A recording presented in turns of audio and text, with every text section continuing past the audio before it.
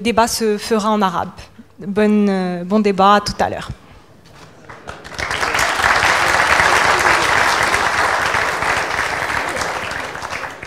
السلام عليكم ورحمة الله تعالى وبركاته.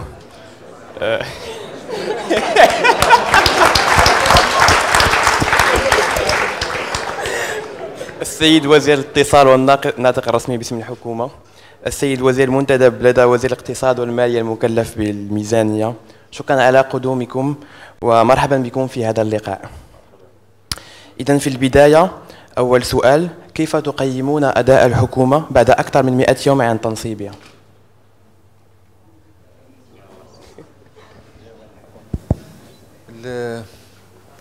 بسم الله الرحمن الرحيم. أود في البداية أن أشكر الجمعية على هذه الدعوة الكريمة. حصيلة الحكومة في المئة يوم ينبغي أن أولا أن أن نضع هذا من السياق le contexte politique qui englobe l'expérience هذا السياق السياسي مرتبط بمسار انخرط فيه المغرب منذ أزيد من سنة. كان الربيع الديمقراطي العربي. المغرب تفاعل معه اولا على المستوى الشباب حركة 20 فبراير. ثم بعد ذلك جاء الخطاب الملكي ل 9 مارس شكل إرادة في التفاعل بشكل استباقي. بعد ذلك كانت المراجعة الدستورية ثم انتخابات. 25 نوفمبر ثم تشكيل الحكومة. إذا حصيلة المئة يوم هي نتاج هذا المسار. ما هي القضايا الأساسية في هذا المسار؟ والتي أعتبر أن الحصيلة في العموم إيجابية وهنالك تحديات وهنالك إشكالات. حصيلة هذا المسار كانت أول قضية برزت تقريبا هذه السنة ونصف أن المغربي يريد أن يكون فاعل في صناعة القرار الذي يهم حياته. هذا هو الرسالة الأساسية الـ message principal كان هو هذه القضية. إعادة بناء العلاقة بين المواطن والسياسة. أن القرار السياسي أن يحس المواطن بأنه بأن له القدرة على التأثير في القرار السياسي.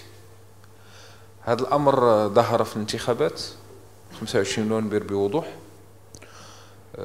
نسبة المشاركة كانت 45% وهذا هذا تحدي ستانديفي لأن هذه النسبة كتبقى في كل الحالات. تطرح سؤال ضرورة العمل من أجل المصالح توسيع دائرة المشاركة. ولكن الأهم هو ما حصل من بعد النجاح في تكوين الحكومة. إذا أول شيء كنعتبره كحصيلة للحكومة وهو أن هنالك مناخ أو شعور أو نفس جديد في المجتمع المغربي يقوم على لا يمكن اليوم للفاعلين في تدبير الشأن العام لا يمكن للحكومة أن تعتبر نفسها بمعزل عن المراقبة الشعبية والمحاسبة المجتمع. هذا مبدأ وهذه حصيلة. ولكن هذا هذه صيرورة هذا c'est un processus ويتطور بطريقة متدرجة. من بين أهم النقاط المترتبة على ذلك هي قضية الشفافية. لا يمكن أن تقع هذه المصالحة بدون الوصول إلى شفافية تدبير الشأن العام. الشفافية في الأول كانت عبر إجراءات رمزية.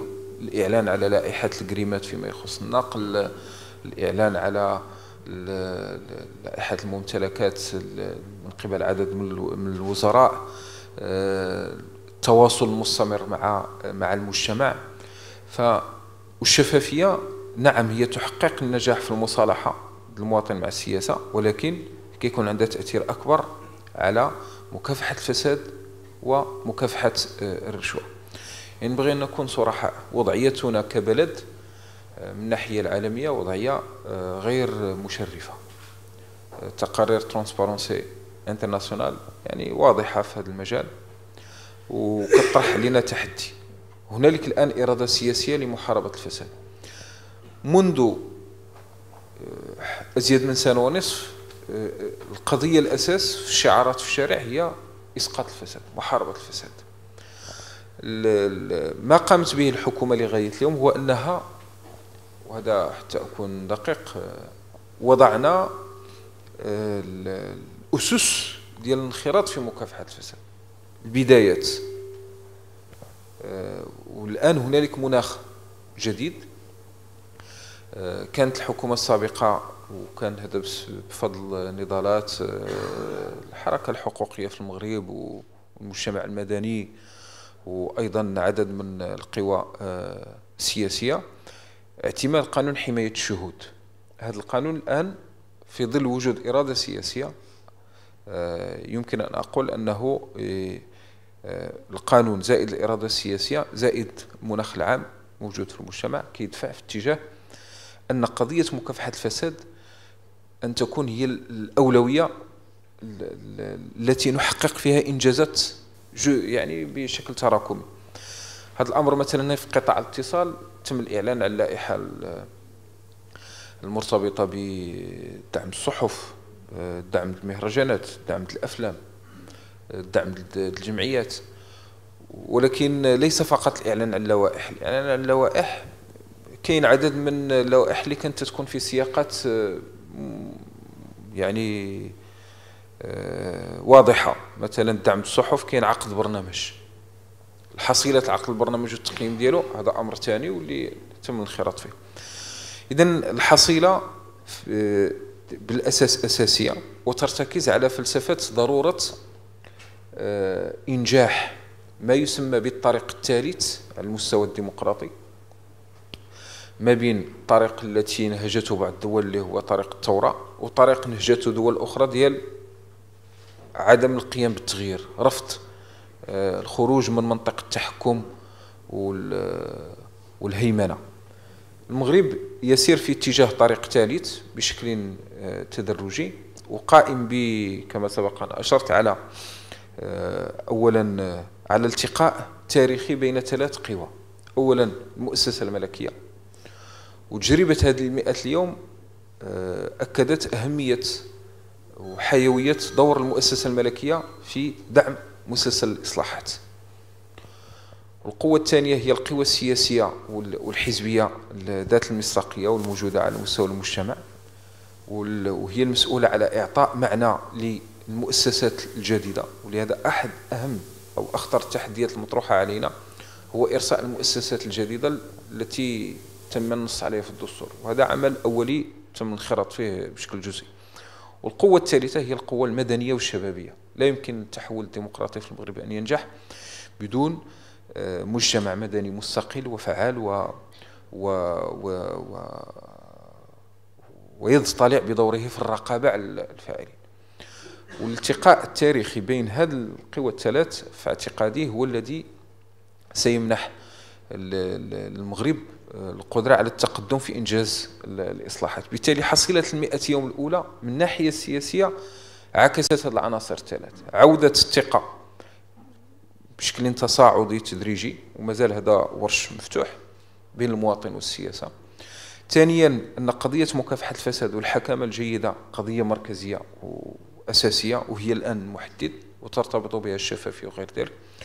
والقضية الثالثة هي تعزيز آه، شروط الثقة والالتقاء rencontre entre les trois forces اللي من شأنه أن يمكن المغرب من إنجاح خيار الإصلاح في إطار الاستقرار.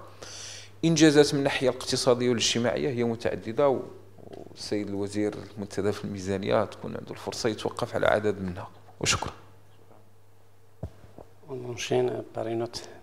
ولا نكملوا في هذا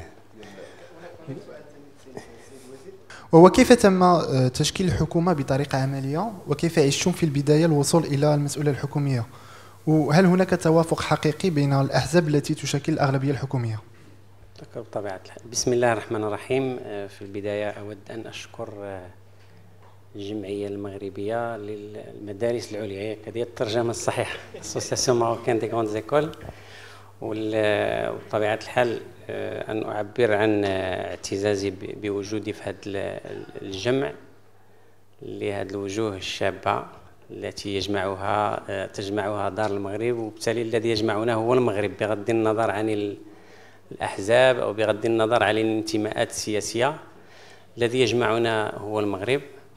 وتحية بطبيعة الحال إلى إخوتنا من خارج المغرب اللي هم في الحضور حتى نكون في إطار أكثر انفتاحا.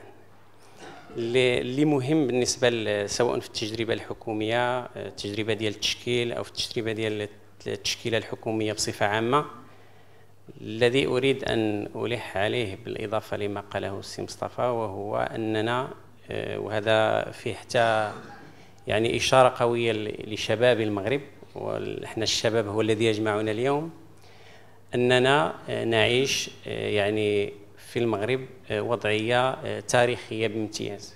c'est un moment historique شبيه إلى حد بعيد بتجربة التناوب الأولى ولكن الاختلاف اللي هو فيه والذي كيف ما فتحت التجربة ديال التناوب الأولى آفاق واعدة للمغرب وجعلنا أننا اليوم في تجربة جديدة.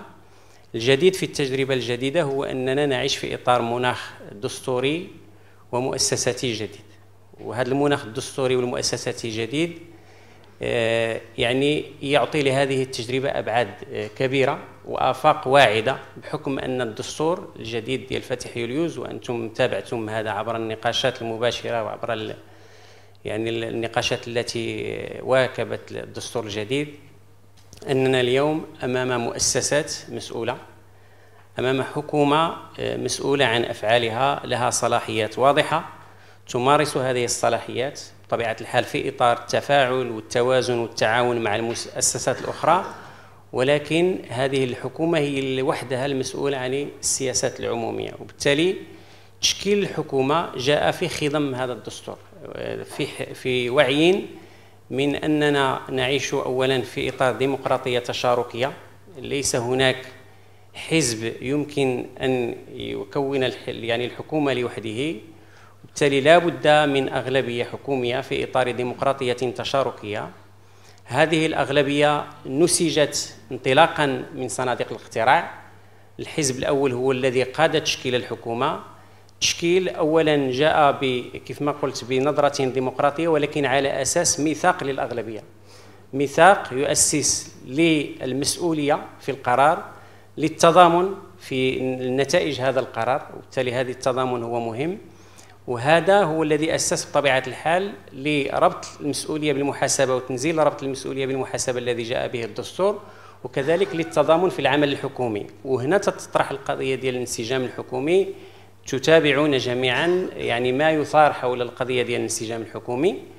الذي أريد أن أؤكد أن الانسجام الحكومي قائم طبيعة الحال هناك تباين في وجهات النظر وهذا شيء جيد لأنه الذي تعودناه في السابق هذا هو اللي قلت بأننا نعيش تجربة جديدة بآفاق جديدة أننا كنا في السابق في إطار حكومات يعني أولا يغيب عنها التواصل مع الشعب والتواصل مع الفئات الشعبية. وبالتالي الذي كان يظهر أن هناك خطاب واحد الحكومة بخطاب واحد الآن هناك آه، حكومة في إطار ديمقراطي جديد يتمتع وزراؤها بالحرية في التواصل وهذه الحرية في التواصل في بعض الأحيان قد تعطي انطباعا بأن هناك تباين في الآراء وهذا يعني شيء طبيعي. ولكن الأساسي الأساسي وهو أن الذي يجمعنا هو أن القرار ملزم القرار الذي تأخذه الحكومة يلزمها والقرار الذي تأخذها الحكومة في المؤسسات الدستورية هو القرار الذي ينزل. التباين في الآراء هذا شيء طبيعي وبالعكس هو شيء صحي بالنسبة للتجربة الحكومية. المسألة الأخرى التي أريد أن أثيرها على هامش هذا السؤال هو هذه المئة يوم الأولى من حيث من الناحية الاقتصادية.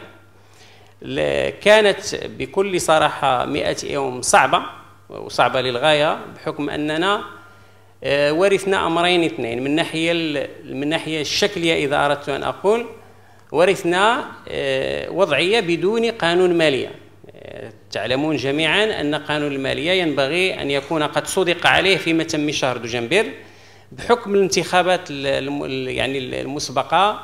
هذا القانون لم يتم مناقشته والمصادقة عليه وبالتالي كان لابد من للحكومة الجديدة أن تأخذه من جديد.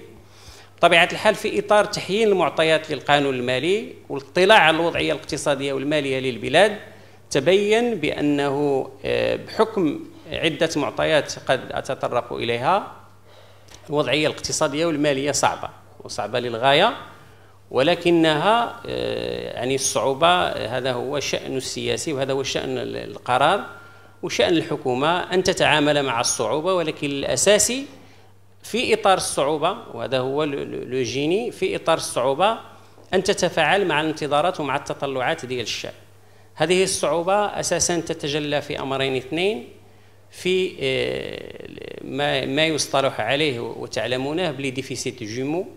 عجز في الميزانية يقدر ب 6.1% من الناتج الداخلي الخام en valeur absolue واحد 50 مليار درهم. عجز في ميزان الأداءات يقدر ب 7.9% من الناتج الداخلي الخام en valeur absolue واحد 64 مليار ديال الدرهم.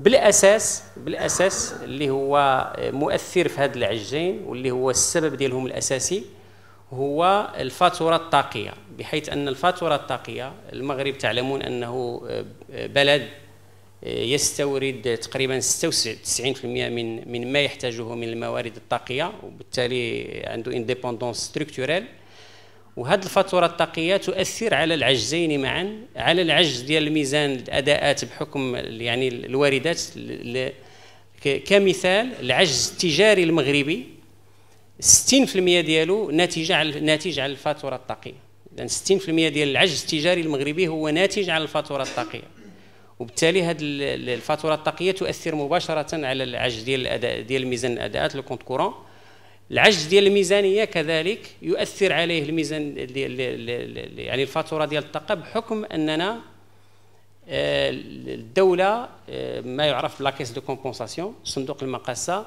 الدولة تساهم في التخفيض ديال الثمن le prix à la pompe بنسبة كبيرة بحيث مثلا في l'essence تقريبا الدولة تت compenser 5 ديال الدرهم وفي عفوا في المازوت 5 ديال الدرهم وفي l'essence واحد 4 ديال الدرهم وبالتالي هذا له تأثير مباشر.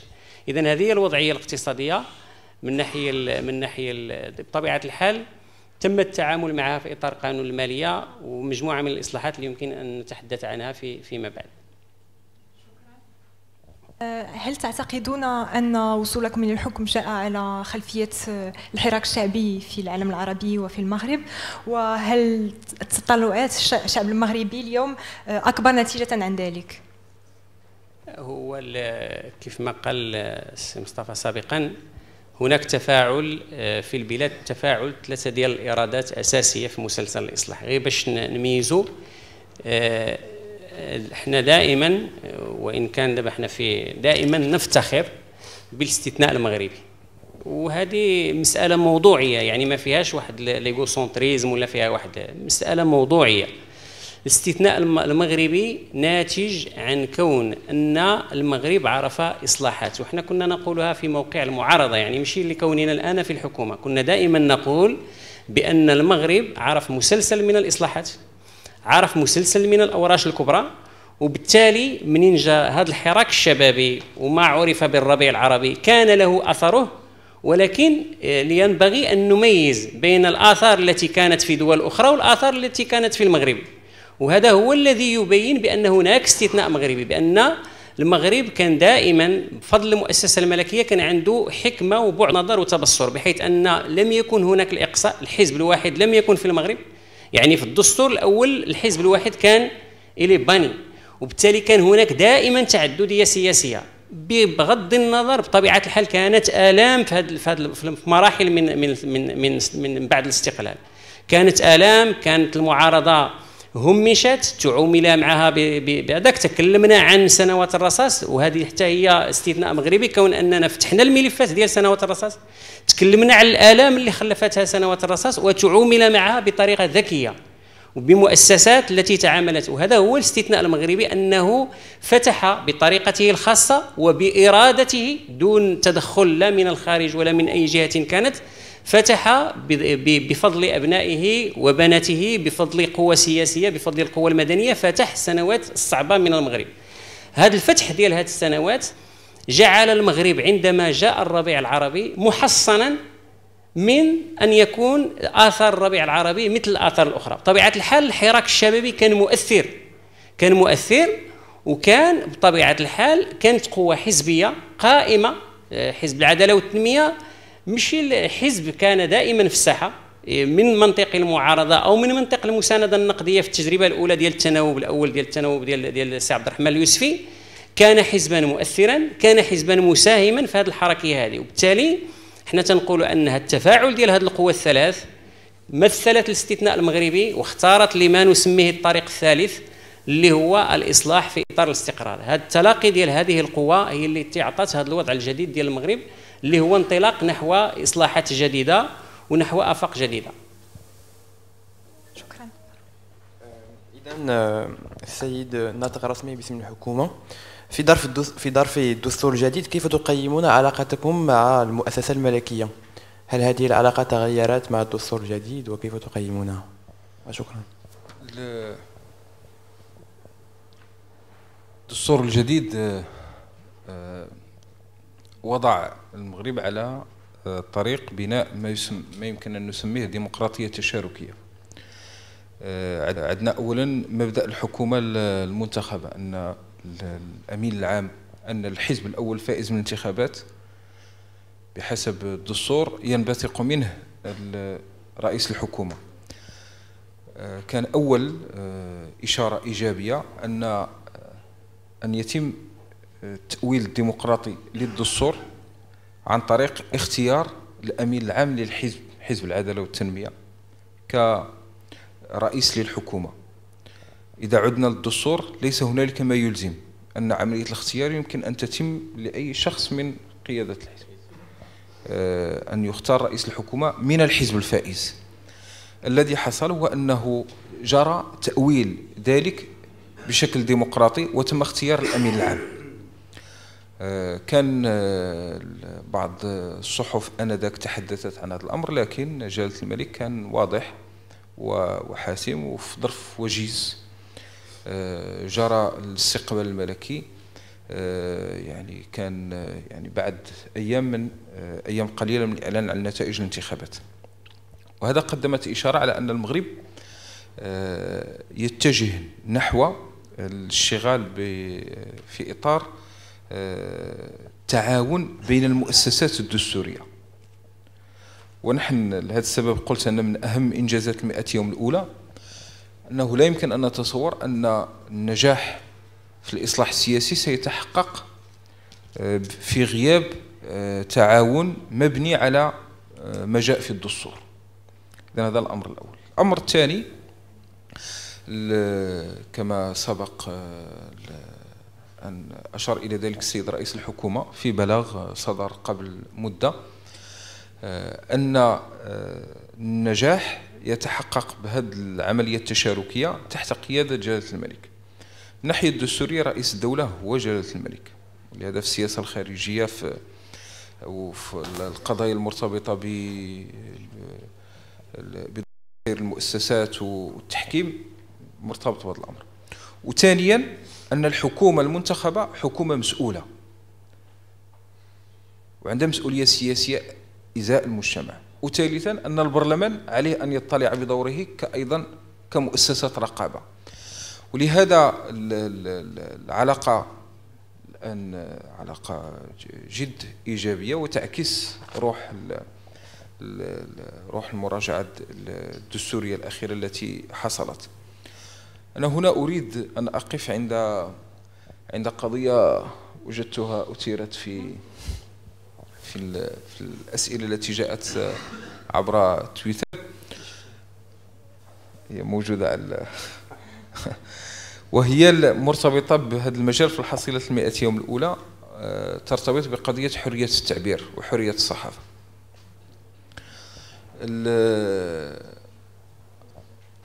من أهم آه، التحديات التي ورثتها الحكومة الحالية هي قضية وجود قانون صحافة يتضمن أزيد من عشرين عقوبة سالبة للحرية. وهذا الأمر المستوى العالمي يعني نحن من الدول القليلة التي نتوفر على هذا الكم من من العقوبات.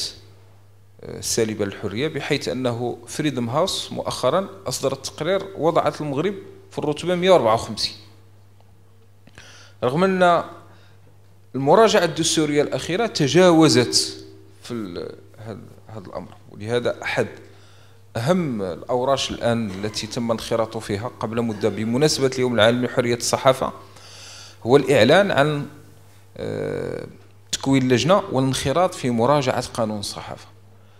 بهدف الوصول إلى قانون صحافة خالي من العقوبات السالبة للحرية. بالاستناد على ما ورد في الدستور الذي نص على أن حرية الصحافة مضمونة. إذا أردنا أن تكون مضمونة على لا تكون يعني خاضعة للقيود المرت... في العمل الصحفي المرتبط بحرية التعبير. القيود الخاضعة ل آه، الإكراه البدني المرتبط بالعقوبات السالبة للحرية هذا لا يعني أن الصحفي فوق القانون ولكن إذا تم إذا صدرت عنه أمور اللي تخضع لطائلة القانون الجنائي القانون الجنائي آه، هو الذي يحكم أنذاك. ولكن على مستوى ضمانات حرية التعبير لا يمكن أن نبقى آه، مشتغلين في إطار قانون صحافة آه، يهم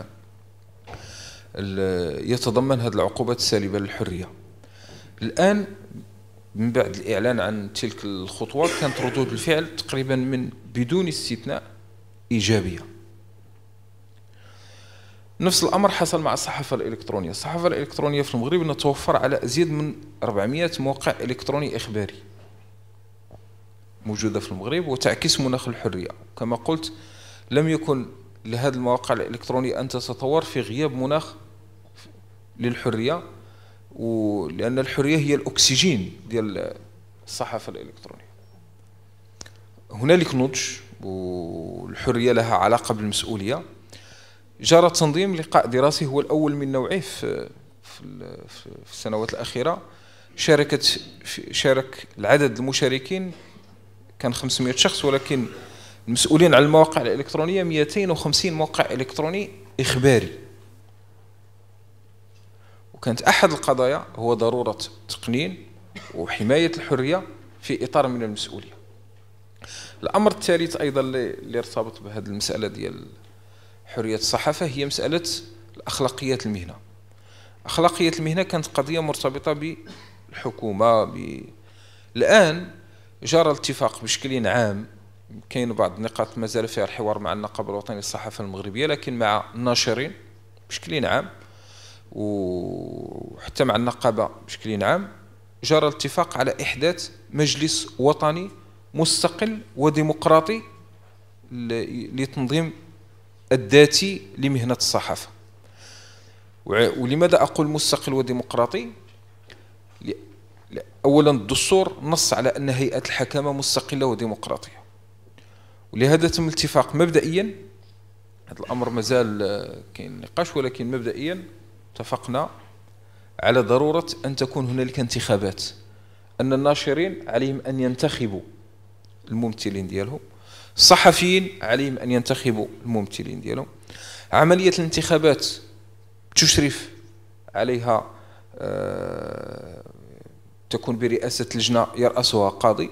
والسلطة التنفيذية لا تكون ممثلة في الإشراف على العملية الانتخابية.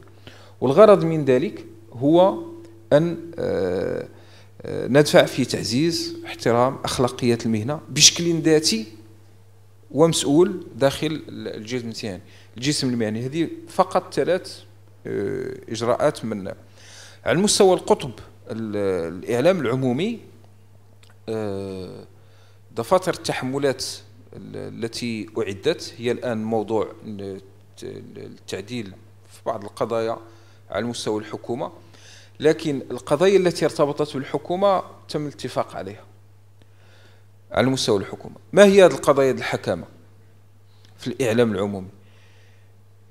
أولا إرساء مفهوم الخدمة العمومية le service public في الإعلام العمومي. ولأول مرة دفاتر التحملات في المغرب واللي كان نقاش عمومي إيجابي وشارك شارك فيه الجميع تضمنت باب خاص بالخدمة العمومية ينص على الاستقلالية التحريرية والمبادرة المبدعة. وهذا كان والارتباط بالخدمة العمومية على أساس ضمان استقلالية هذا الإعلام العمومي على التحكم بالسلطة التنفيذية. ثانيا في إطار الحكم الجيده والاتفاق أن السلطة التنفيذية لا تتدخل في كل من لجنة أخلاقيات البرامج. هذه اللجنة كانت موجودة في السابق.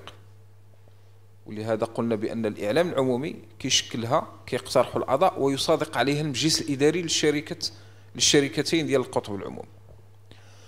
وثانيا أن السلطة التنفيذية لا تتدخل في تحديد اللجنة ديال انتقاء البرامج. إن البرامج اللي كتكون من الإنتاج الخارجي آه، هنالك لجنة في السابق آه، هذا الأمر لم يكن واضحا لأنه أصبح عندنا نظام طلبات العروض. الإعلام العمومي في ظرف في 2006 كانت عندنا حوالي 10 المليون ديال الدرهم اللي كتكون مخصصة للإنتاج الخارجي production externe الآن في 2009 ارتفعت ل 300 مليون ديال الدرهم 30 مليار ديال السنتيم. لم يكن هذا الأمر يخضع لطلبات عروض. الآن في دفاتر التحملات تم النص على طلبات عروض على حق شركات الإنتاج أزيد من 100 شركة الإنتاج في المغرب. تقدم برامج أن اللجنة آه، تتم المصادقة على الأعضاء ديالها من قبل اللجنة ديال انتقاء البرامج ولكن المجلس الاداري هو اللي كيصادق ولأول مرة تم اعتماد مدونة اخلاقيات سلوك. واحد ال code déontologie الاعضاء ديال هذيك اللجنة. خديناه من المعايير الدولية باش كنقف في وجه تنازع المصالح في وجه العلاقات أو التدخلات. لا. وتم إخراج السلطة التنفيذية من الموضوع ديال التحكم في هذه اللجنة. وهذا الأمر من هو أحد الأدوات الأساسية التي اعتمدتها دفاتر التحملات الجديدة اللي الآن مازال ما تنشرتش في الجريدة الرسمية ولهذا تم تمديد العمل بالدفاتر القادمه حتى ندخلوا التعديلات. التعديلات هي تهم قضايا أخرى عندها علاقة بال بعض الملاحظات التي أثيرت في النقاش العمومي من أجل تدقيقها على المستوى اللغوي ولكن آه، القضايا ديال الحكامة تطوير الإعلام العمومي الإصلاح صيانة التعددية. وهذا أيضا من الأمور المرتبطة بحرية الصحافة. في السابق كانت التعددية في الإعلام العمومي مرتبطة فقط بالأحزاب. هي اللي عندنا الهيئة العليا للاتصال السمعي البصري عندها قواعد تنظم مشاركة الأحزاب في الإعلام العمومي. المغرب قطع خطوة. الحراك الديمقراطي العمود أحد الأعمدة الأساسية فيه كانت المجتمع المدني. جمعيات نسائية جمعيات الحقوقية. الذي حصل هو أن مشاركتها في الإعلام العمومي غير خاضعة لقواعد ولهذا تم النص على قواعد تضمن التعددية. أولا حماية حقوق المعارضة وهذه أول مرة تم النص عليه. المناقشات البرلمانية المتعلقة بلجان تقصي تقارير لجان تقصي الحقائق أو ملتمسات الرقابة تم النص على ضرورة البث ديالها في الإعلام العمومي. إحداث التوازن بين المعارضة والحكومة رغم أن قانون اتصال السمع البصري اللي هو أيضا موضوع مراجعة الآن 2005 ما نصش على عطى نص واسع للحكومة للحضور في الإعلام العمومي. إحنا الآن بدينا في دفاتر التحملات كنتحدثوا على الملخص وعلى رئيس الحكومة. ثم التعددية المدنية أن الجمعيات كتخضع الحق ديالها في الحضور والتنظيم ديال الحضور ديالها بالشكل الذي يحمي القواعد ديال التعددية ما بين كافة الأطراف. اذا هذه بعض العناصر اللي عندها علاقة بالقضية ديال كيف في النقاش العمومي آه، في القضية ديال الحرية ولهذا كاينة جرأة. أنا شخصيا زرت الولايات المتحدة الأمريكية والتقيت مع منظمه هيومن رايت ووتش والتقيت أيضا في الوقت الوطني للديمقراطية وترنا هذه الإشكالات. الآن كاين حتى في القضايا اللي ارتبطت ب بعض بعض الإشكالات المرتبطة بالحريات. الحكومة الحالية حكومة مسؤولة تتعاطى بشجاعة مع القضايا المرتبطة بالحكامة والمرتبطة بالحريات. ولهذا السبب توقفت فقط على هذه الأمثلة ديال بعض العطاءات التي تحققت. كاينة إشكالات مرتبطة بقضايا أخرى حتى ممكن نطرقوا لها. وشكرا. شكرا على الإجابة سيد الوزير. الآن نمر إلى سؤال آه، سؤال عن المعارضة عن دور المعارضة. كيف تقيمون أداء المعارضة منذ وصولكم إلى الحكم؟ وما هي علاقة حزب العدالة والتنمية والأغلبية الحكومية مع هذه المعارضة؟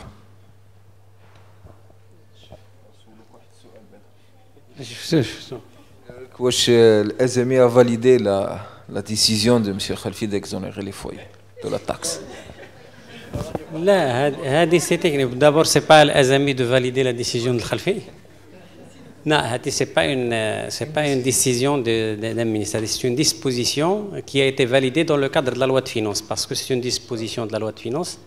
On parle bien sûr des dispositions de l'exonération des, des, foyers, d'un certain nombre de foyers, qui, dont la consommation, de 4 millions et demi de foyers, dont la consommation ne dépasse pas euh, 200 kW, 200 kW par heure, mais la taxe, la, la, la fameuse taxe audiovisuelle. Donc, les, les, les, foyers dont la consommation ne dépasse pas 200 kW par heure, bien sûr par mois, seront exonérés de, de, de cette taxe.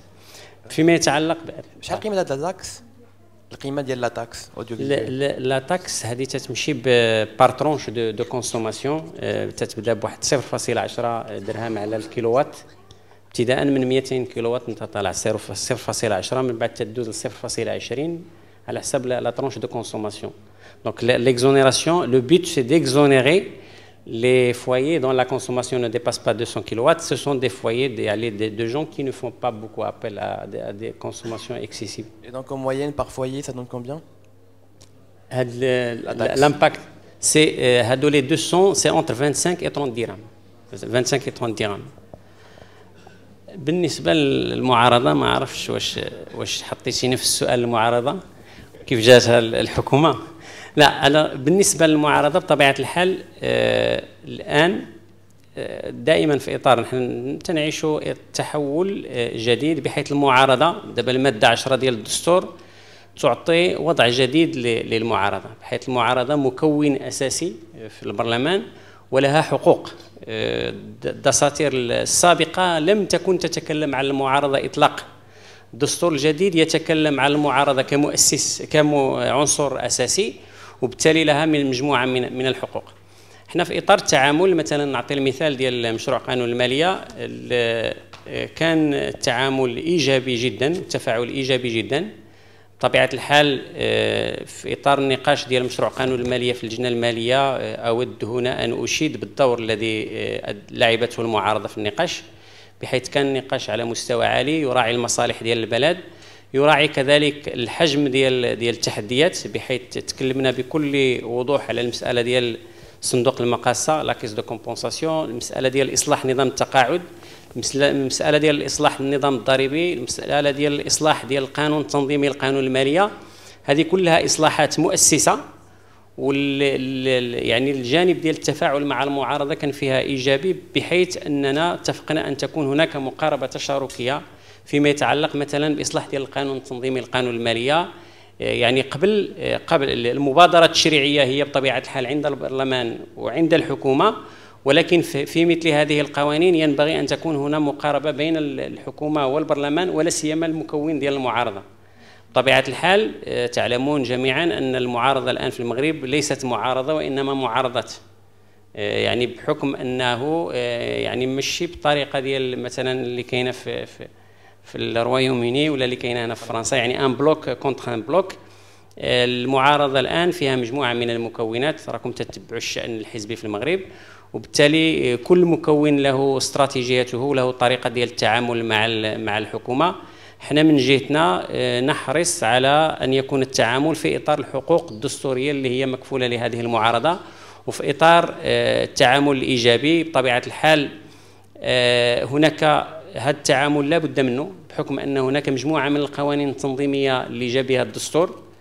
وكيف تتعرفوا في التراتبية القانونية وفي الهيرارشي دي نورم القوانين التنظيمية هي جزء لا يتجزأ من الدستور لأنها مكملة للدستور وبطبيعة الحال في هذا الجانب هذا هناك آه، حرص من الجانبين على أن تكون هذه القوانين التنظيمية في إطار التشارك مع المعارضة آه، كما كان هذا التشارك حول الدستور واللي كان فيه عليه استشارات واسعة ينبغي أن تكون استشارات واسعة كذلك على القوانين التنظيمية المنزلة للدستور. شكرا سيد الوزير. هل تعتقدون اليوم أن الحكومة ارتكبت أخطاء منذ وصولها إلى الحكم؟ وإذا كان الجواب نعم ما هي هذه الأخطاء؟ الأخطاء لا بد منها. كيف ما تيقولوا هناك دهشة الوافد دهشة الجديد. لا هو آه، أعتقد أنه ربما من بين الأخطاء آه، هي القضية ديال التواصل.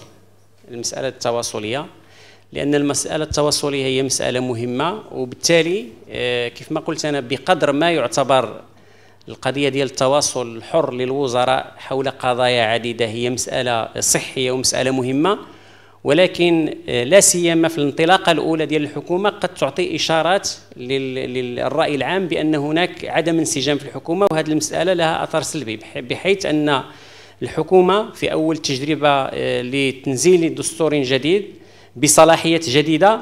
كان ينبغي أن يكون آه، يعني هناك واحد النوع من الحرص على أن يكون التواصل بطبيعة الحال. هذه آه، القضية ديال التواصل نحن يعني لا تراجع فيها لأنه ينبغي أن نحرص على التواصل مع الرأي العام بحكم أن الرأي العام ولا سيما الشباب كيف ما سبق القول الآن أصبحت هناك رغبة بأن يكون للرأي العام دور في الجانب السياسي وأن يكون فاعلا ومؤثرا بشكل قوي. وهذه المسألة ديال الفعالية ديالو ديال التأثير لا يمكن أن تتم إلا بالتواصل. وبالتالي هذه القضية ديال السياسة التواصلية آه، ربما فيها آه، ما يمكن آه، يعني تطويره في في المستقبل. شكرا.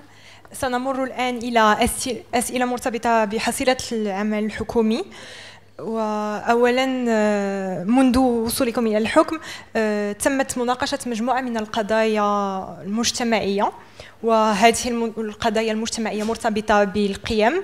آه، ما هو مستواها في أولو أولوياتكم اليوم؟ قضية ديال لي فالور قيم.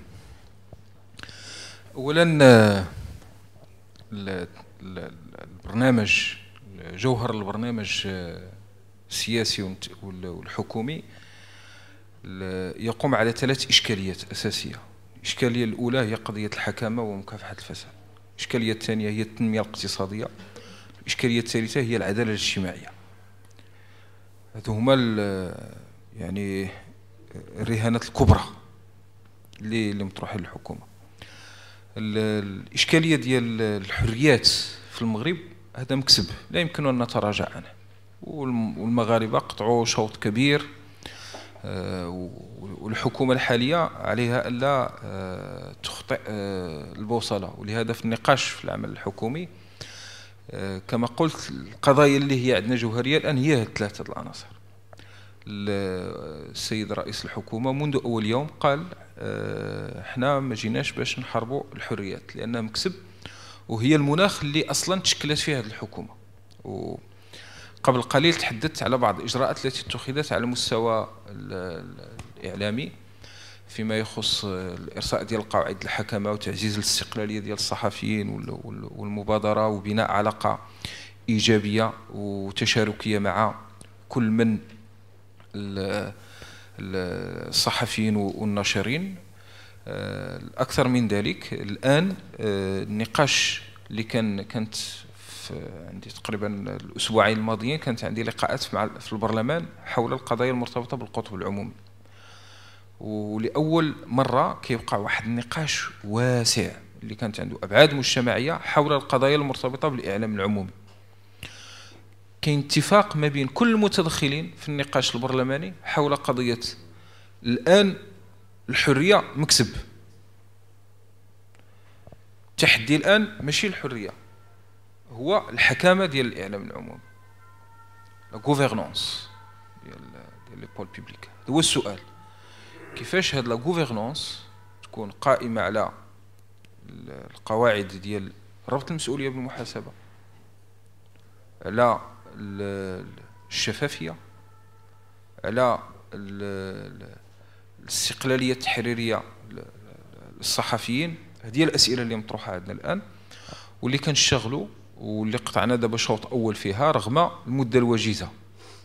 أنه في ظرف آخر كانت هذا الأمر كان كيستغرق مدة أطول ولكن وقع فيها إنجاز. نفس الأمر دار على المستوى السينمائي. آه، كان مع المجيء الحكومة تم تشكيل لجنة جديدة لمنح الدعم المشاريع الأفلام آه، السينمائية. هاد اللجنه اللجنه القديمة انتهت في في السنة الماضية. فكان ضروري تشكيل اللجنه عندما تم تشكيل اللجنه تم الاتفاق آه، على معايير العلم ديالكم أن اللجنه التشكيل ديالها اختصاص حصري لوزير الاتصال.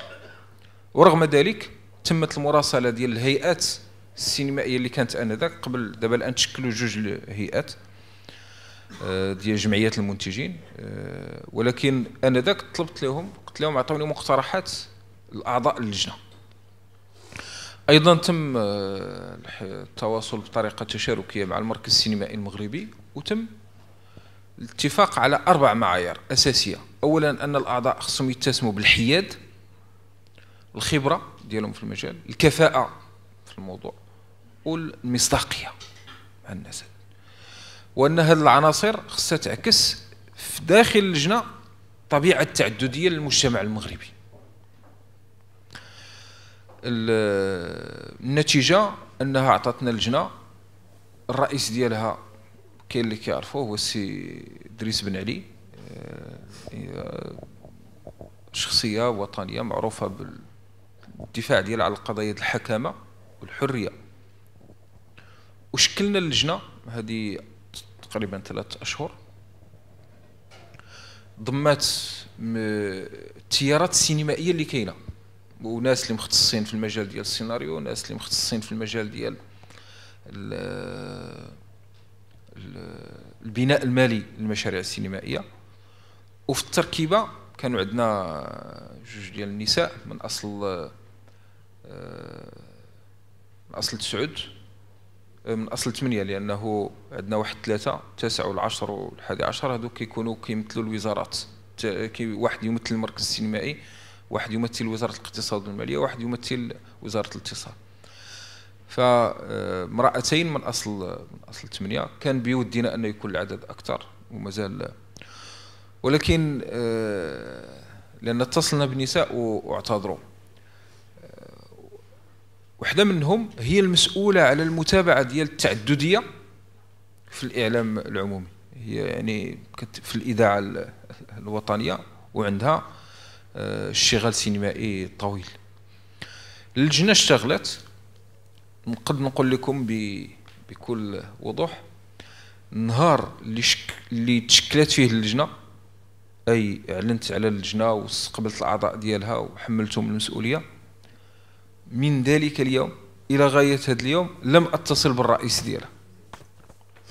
واشتغلت اللجنة وعلنت على النتائج ديالها والأعمال ديالها. قلت لهم بيني وبينكم الدستور وأنتم لجنه مستقلة.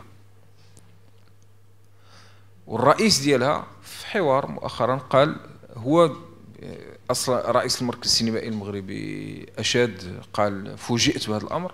ولكن رئيس اللجنة قال لهم هذه الحكومة من الذكاء ديالها أنها ماشي فقط في التكوين ديال اللجنة ولكن أنها تركت اللجنة تشتغل بحرية. وفي النقاش معهم كنت واضح قلت لهم أنتم عندكم مسؤولية النهوض بجودة الإنتاج السينمائي المغربي. ما عدا ذلك لا علاقة. أنتم مسؤولين عندنا الثقة فيكم اشتغلوا. وهذا المنهج هذا لأنه في نهاية المطاف هو اللي كيحسس الناس بالمسؤوليه وكيحقق الحرية الحقيقية في المجتمع. ما, ما يمكنش يوقع عليها آه، تراجع. بالعكس جئنا إحنا جينا في واحد المناخ ديال الحرية وجينا في مناخ تعزيز ديالها. والإنسان عندما يكون حرا يكون مسؤولا آه، في, في اتخاذ القرارات ديالو. وشكرا. ديالك. لكن ممكن تحدث عن الحرية في المجال الاقتصادي. سنمر الآن إلى الميدان الاقتصادي. إذا السيد الوزير المكلف بالميزانية قد تم المصادقة على قانون آه، المالية سنة 2012 هذا الأسبوع فما هي أهم المقترحات والتعديلات التي سيقدمها التي سيقدمها هذا القانون الجديد؟ بالنسبة لمشروع قانون المالية ديال 2012 آه، تقريبا بلغ آه، بلغ يعني المحطة النهائية. البارحة كان عندنا تصويت في مجلس المستشارين. بحكم تم إدخال تعديلات في مجلس المستشارين سيعود مرة أخرى إلى مجلس النواب والجلسة ديال نهار الثلاث إن شاء الله من المنتظر أن يتم تتم المصادقه النهائية على هذا المشروع. هذا المشروع بطبيعة الحال جاء في كيف ما سبقت الإشارة جاء في خضم يعني ظرفية استثنائية من الناحية ال- الاقتصادية. ولا سيما من الناحية ديال تراجع الطلب الخارجي الموجه للمغرب. أه، تعلمون ال- المغرب تقريبا بنسبة ديال 60% أه، العلاقات ديالو التجارية مع أوروبا. وبالتالي كل ما كان المناخ الاقتصادي في أوروبا أه، يعيش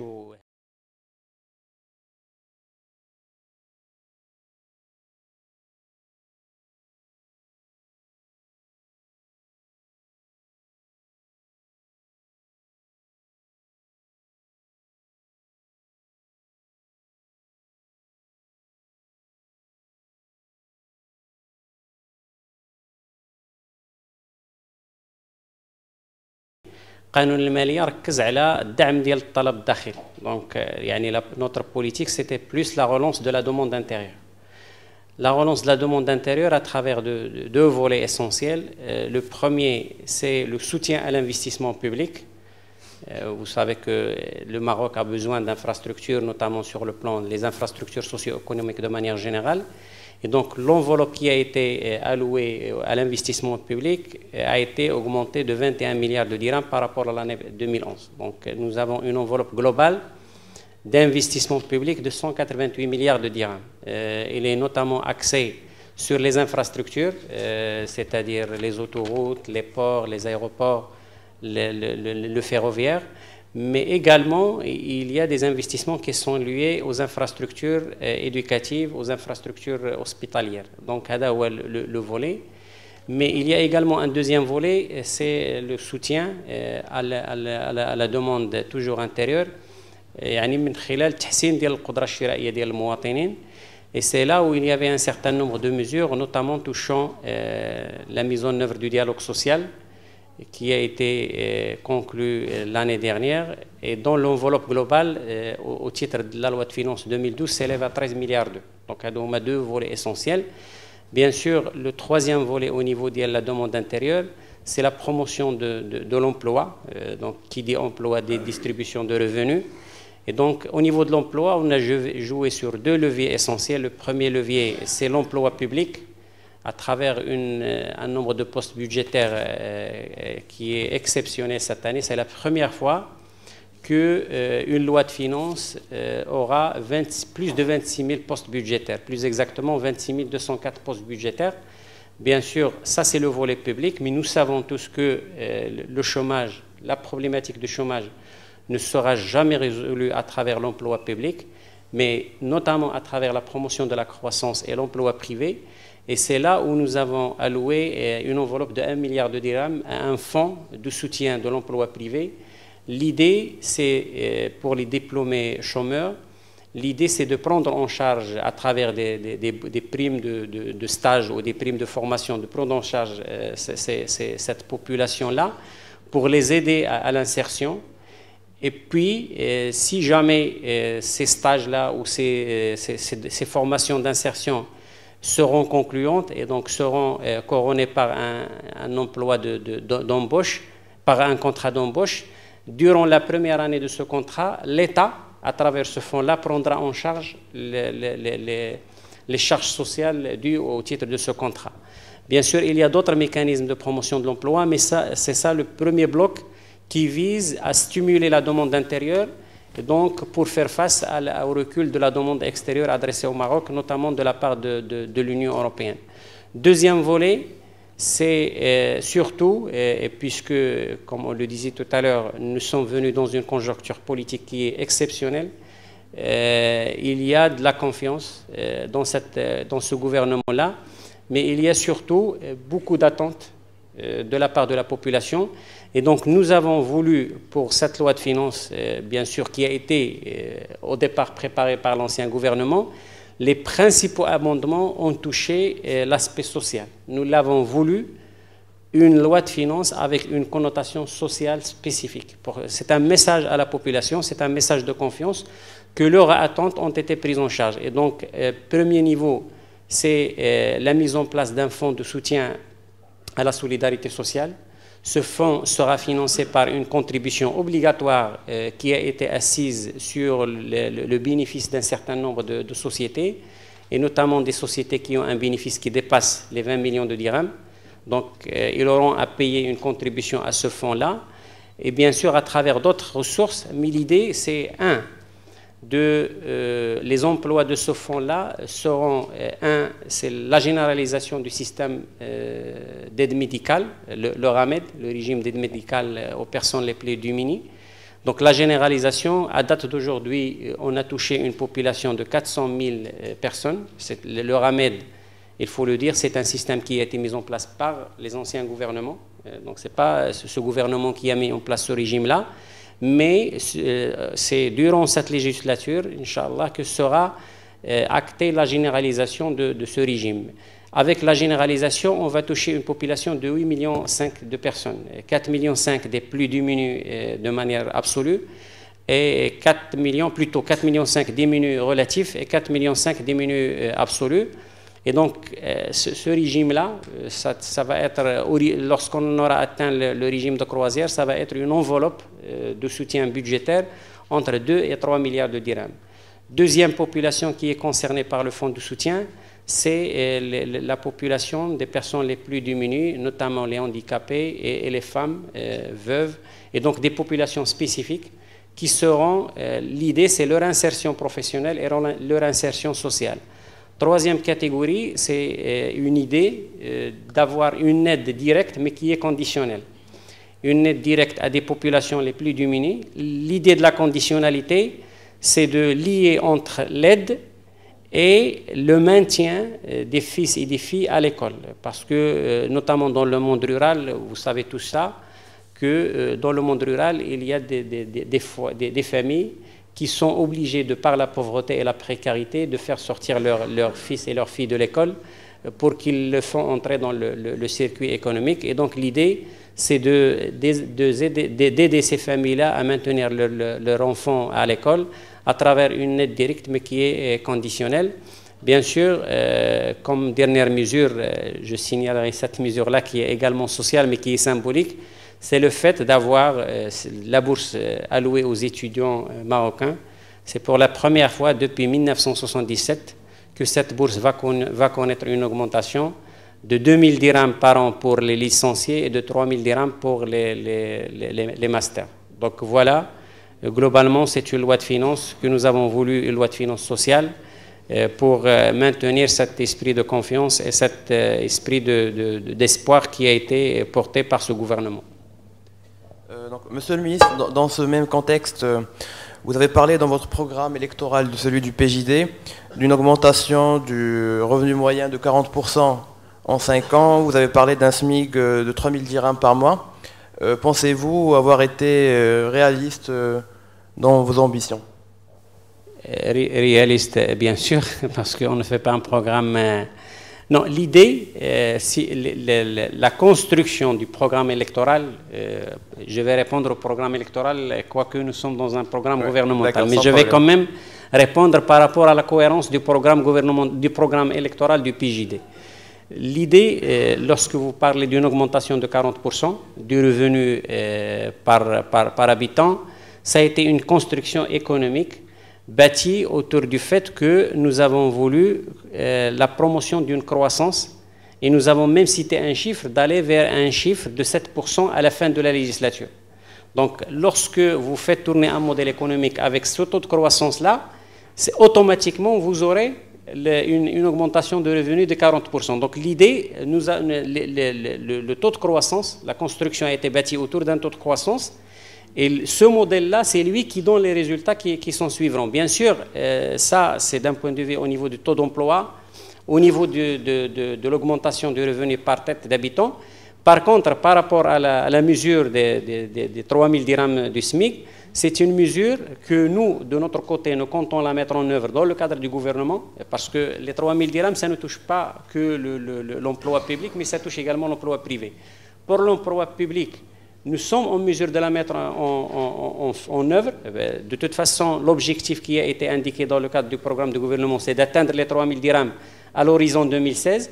Par contre, pour, pour les, employés privés, il va falloir, dans le cadre du dialogue social avec, avec les, confédérations, mais avec également les, partenaires sociaux, d'aller vers cet objectif-là. سيدي جاء صعود حزب العدالة والتنمية إلى الحكم نتيجة الحراك الشعبي الديمقراطي. كانت المطالب الاجتماعية في في وجهته وعلى رأسها التعليم والصحة. فما هي مقاربتكم للنهوض بقطاع التعليم المصنف في دليل الترتيب العالمي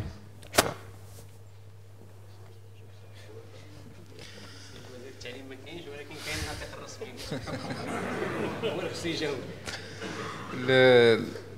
هذا من الإشكالات المطروحة تقريبا منذ منذ عقود والأثر ديالها محدد على التنمية الاقتصادية.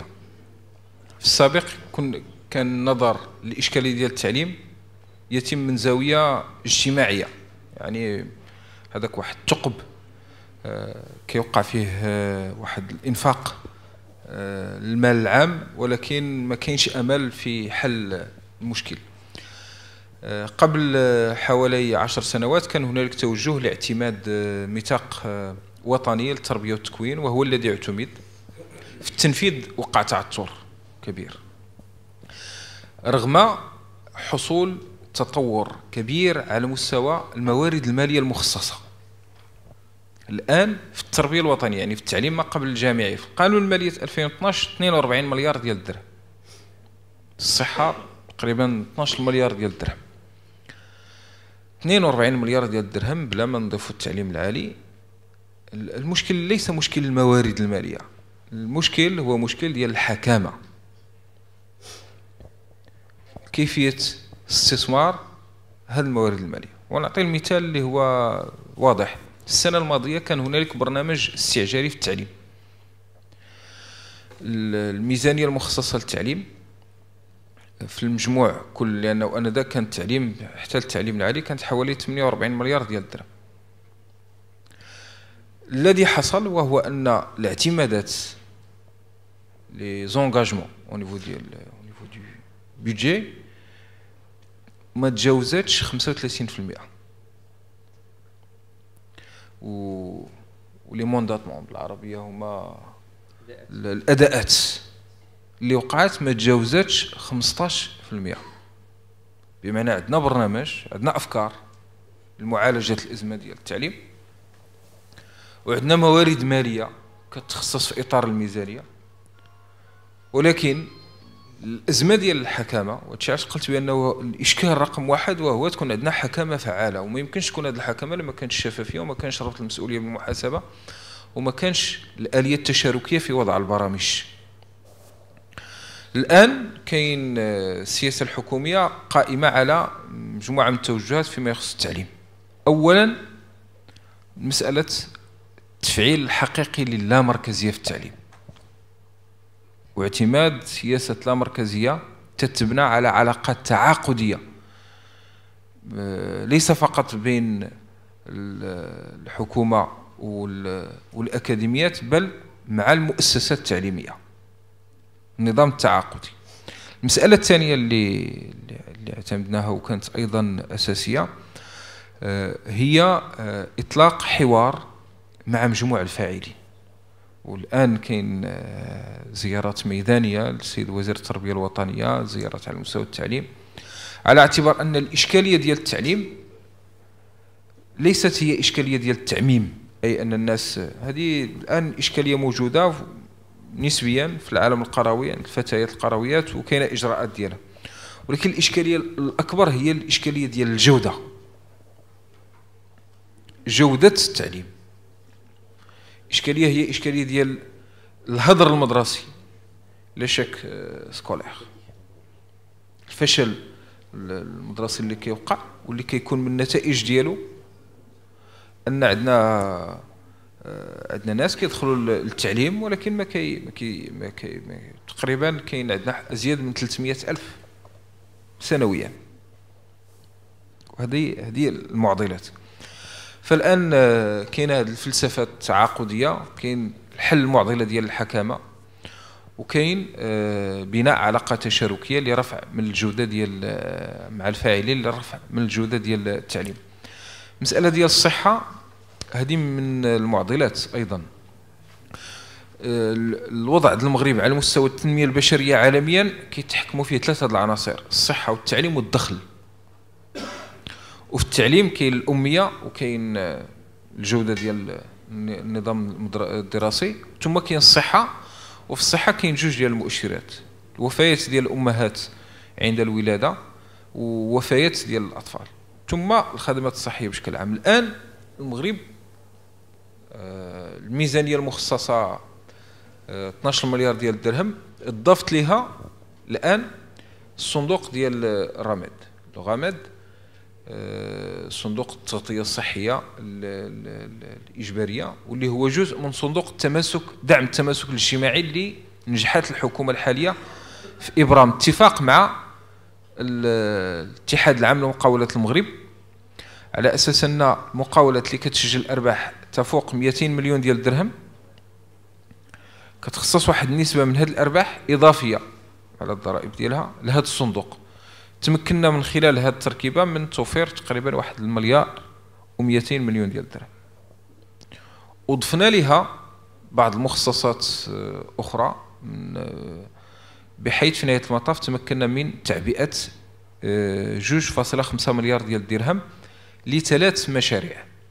التغطية الصحية لكل المغاربه ما يبقاش عندهم مشكل في الولوج للشبكات العلاجات الأساسية. وهذا مشروع دابا الآن كيتنزل. تدريجيا كاين بعض الصعوبات ولكن آه كاين عمل مكتف من أجله. ثانيا مكافحة الهدر المدرسي. ودعم توفير دعم نقدي مالي مباشر للأسر الفقيرة تتبنى على الالتزام ذلك الدعم في مقابل التمدرس ديال الأبناء. وكانت هذا الأمر آه، بدأ في الحكومة السابقة برنامج تيسير ولكن كان جزئي في العالم القروي في بعض المناطق. كانت في حوالي 300 مليون ديال الدرهم. دابا الآن غاديين نحو التوسيع ديالو ليشمل كافة الأسر الفقيرة على المستوى الوطني. في ظل التحولات اللي عرفتها ثم ثالثا الإشكالية ديال الإعاقة. الأسر التي تتكفل بأشخاص معاقين باش يوقع التكفل آه، آه، بالخدمات الأساسية الصحية المرتبطة آه، به. اذا هذه جوج ديال الإجراءات اللي ارتبطت في المجال. آه، هنالك إجراءات أخرى ولكن تتم لأن كاين كاين إجراءات عندها علاقة ب في المجال الصحي اللي هو تحديث المنظومة ديال المستشفيات الأساسية والمستشفيات الجامعية في المغرب. آه، لأن المؤشر المعدلات ديال عدد الأطباء والمرضى والممرضين مقارنة مع عدد السكان ما زالت مؤشرات ضعيفة. هذه أيضا كان كان كنشتغلوا عليها. شكرا. شكرا سيد الوزير. Beaucoup de questions sur la caisse de compensation. Alors, euh, on demande euh, si l'augmentation du budget explique les difficultés socio-économiques que connaît le Maroc, mais aussi euh, quelqu'un a dit que la compensation dégressive pouvait être une solution parce que les riches consommaient plus. Donc, à quand une réforme? Alors, c'est une grande question. pourquoi? Parce que la caisse de compensation a existé au Maroc depuis l'indépendance. L'idée de base de la caisse de compensation, euh, comme son nom l'indique, c'était de compenser le produit de base. Les, les, produits de base, le Maroc est importateur net, notamment des produits énergétiques. Et donc, euh, l'idée de base, c'était de ne pas impacter euh, le, pouvoir d'achat des populations euh, en pratiquant la vérité des prix concernant les, produits de base. Et notamment, ce qui est actuellement compensé au Maroc, c'est les produits pétroliers, c'est le blé et c'est le sucre. Les, les, trois produits, les trois produits essentiels. Euh, avant la flambée des prix des matières premières de manière générale, que ce soit le, blé ou bien les, produits pétroliers, c'est-à-dire avant 2008, euh, on était dans une situation où cette caisse de compensation euh, ne dépassait pas par année 4 milliards de dirhams. À partir de 2008, c'est-à-dire le pic de juillet 2008, euh, on a dépassé euh, toutes les normes. C'est-à-dire, euh, on a atteint maintenant l'année 2008, la caisse de compensation a coûté 5% de la richesse nationale, 5% du PIB. Et depuis, nous avons des chiffres qui, sont dans des, proportions incroyables. On a terminé l'année 2011 avec un budget alloué à la compensation qui est de presque 50 milliards de dirhams. Euh, en 2012, nous avons déjà programmé dans le cadre du budget 2012 46 milliards de dirhams, 32 milliards 5 de crédits neufs et 14 milliards d'arriérés de paiement au titre de la compensation. Donc tout ça pour dire euh, que nous, sommes devant une caisse de compensation qui a euh, un impact budgétaire énorme. Et pour parler de toute la question, bien sûr, il y a cet impact budgétaire énorme, mais la, caisse de compensation n'a pas que des inconvénients, il y a également des avantages, notamment en termes d'impact social et d'impact économique.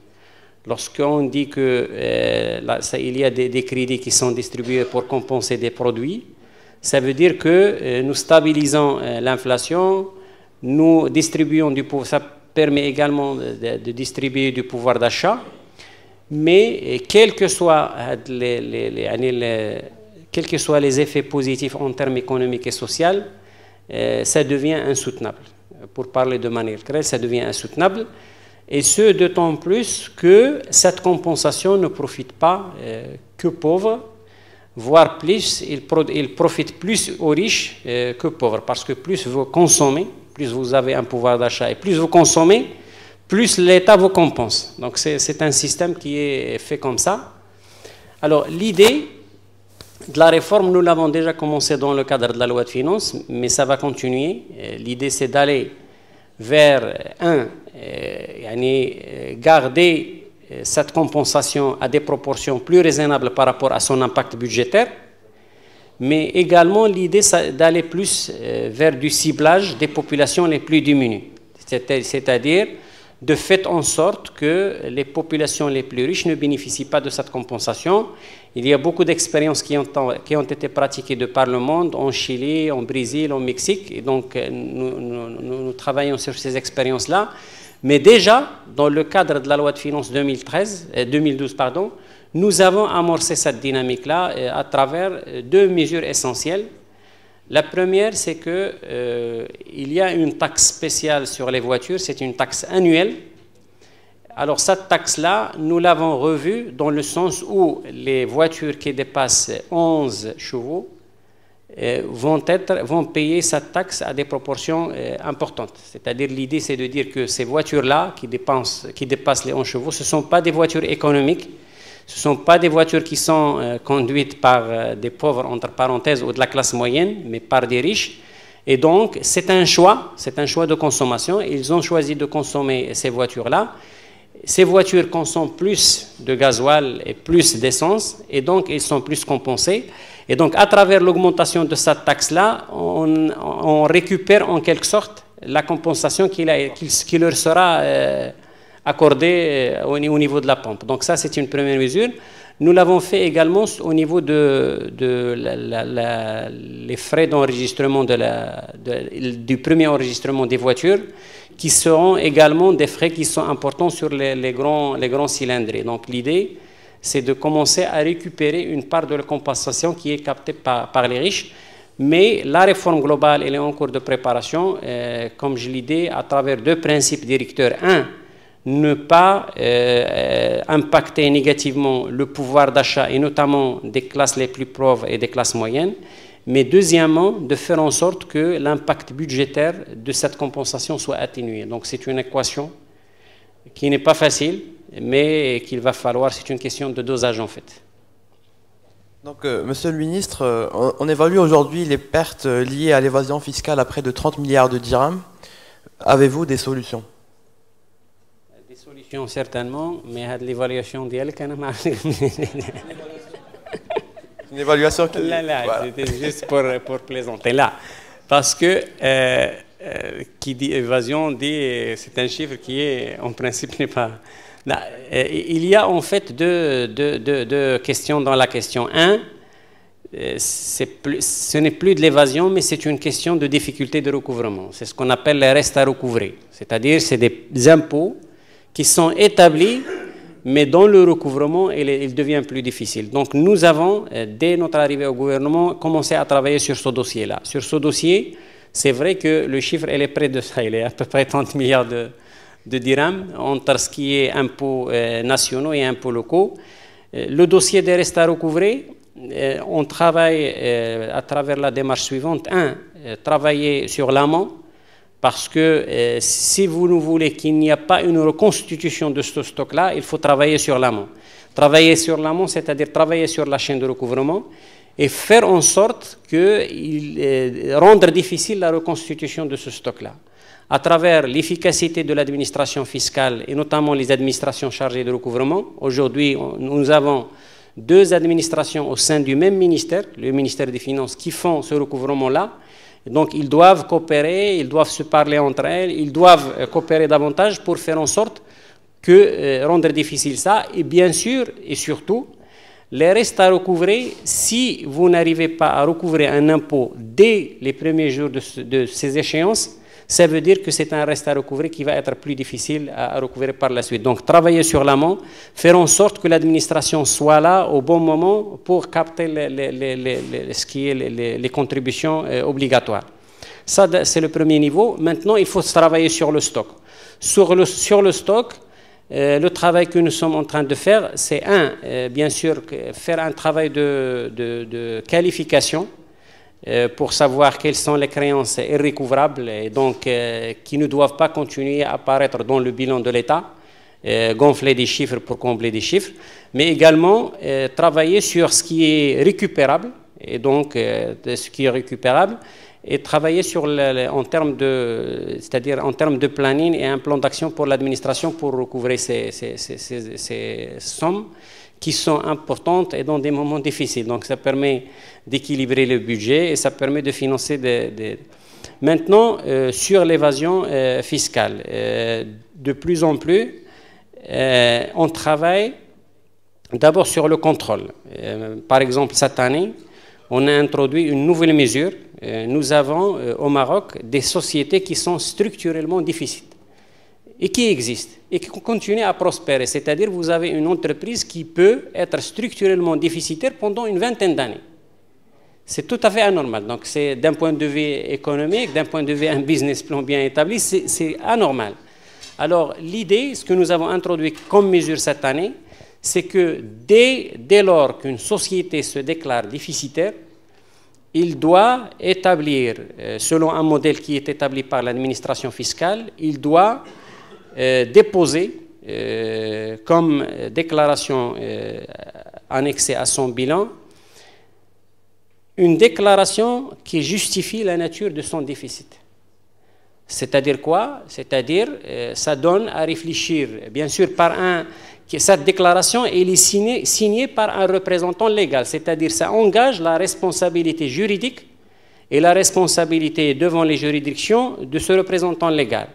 L'idée, c'est de faire réfléchir euh, le propriétaire de la société et bien sûr le représentant légal et les experts qui travaillent pour, pour, pour cette société sur l'idée de déclarer un déficit qui qui n'est pas un, vrai déficit, qui qui n'est pas un déficit réel et qui est un déficit d'évasion finalement. Donc cette déclaration va permettre de responsabiliser les sociétés, et notamment, euh, je ne parle pas des, sociétés qui sont des sociétés citoyennes et qui déclarent leur impôt, mais c'est surtout des sociétés qui sont structurellement déficitaires. Et donc, à travers cette, euh, déclaration, ça nous permet à nous de rationaliser notre intervention au niveau du- du contrôle. C'est-à-dire, lorsque vous avez un justificatif de déficit, ça vous permet, ça permet à l'administration de mieux programmer ces contrôles. Donc, si vous avez une déclaration qui dit, par exemple, qu'un hôtel qui est déficitaire cette année parce qu'il y a une crise du tourisme et que de par les données économiques que vous avez, ce secteur-là est un secteur qui est en peine, etc., ça peut être justifié. Mais lorsque vous avez un secteur du ciment qui fait une marge de 30% et qui déclare un déficit, il, aura du mal à, à, justifier facilement ce déficit. Et donc, c'est une société qui sera programmée pour le contrôle. Donc l'idée, c'est de travailler sur ces zones-là, mais également, il y a une deuxième mesure, c'est de travailler, c'est une réforme qui a été déjà introduite au niveau de la douane, c'est de travailler sur la classification des entreprises. Euh, c'est-à-dire, nous, nous, aurons des entreprises qui, euh, seront euh, des entreprises qui sont connues de par leur sérieux, de par leur citoyenneté, notamment au niveau des impôts, et qui donc, euh, au niveau du contrôle, seront traités d'une autre manière que les autres sociétés. Donc, de faire la part entre ce qui est euh, des sociétés qui sont des abonnés au déficit et des sociétés qui sont, citoyennes et qui payent leur, leur, impôt. Ce n'est pas facile, mais euh, nous sommes dans un moment, comme je le disais au départ, un moment historique avec des défis notamment économiques et des défis sociaux. Et donc tout un chacun euh, doit contribuer à la réussite de, cet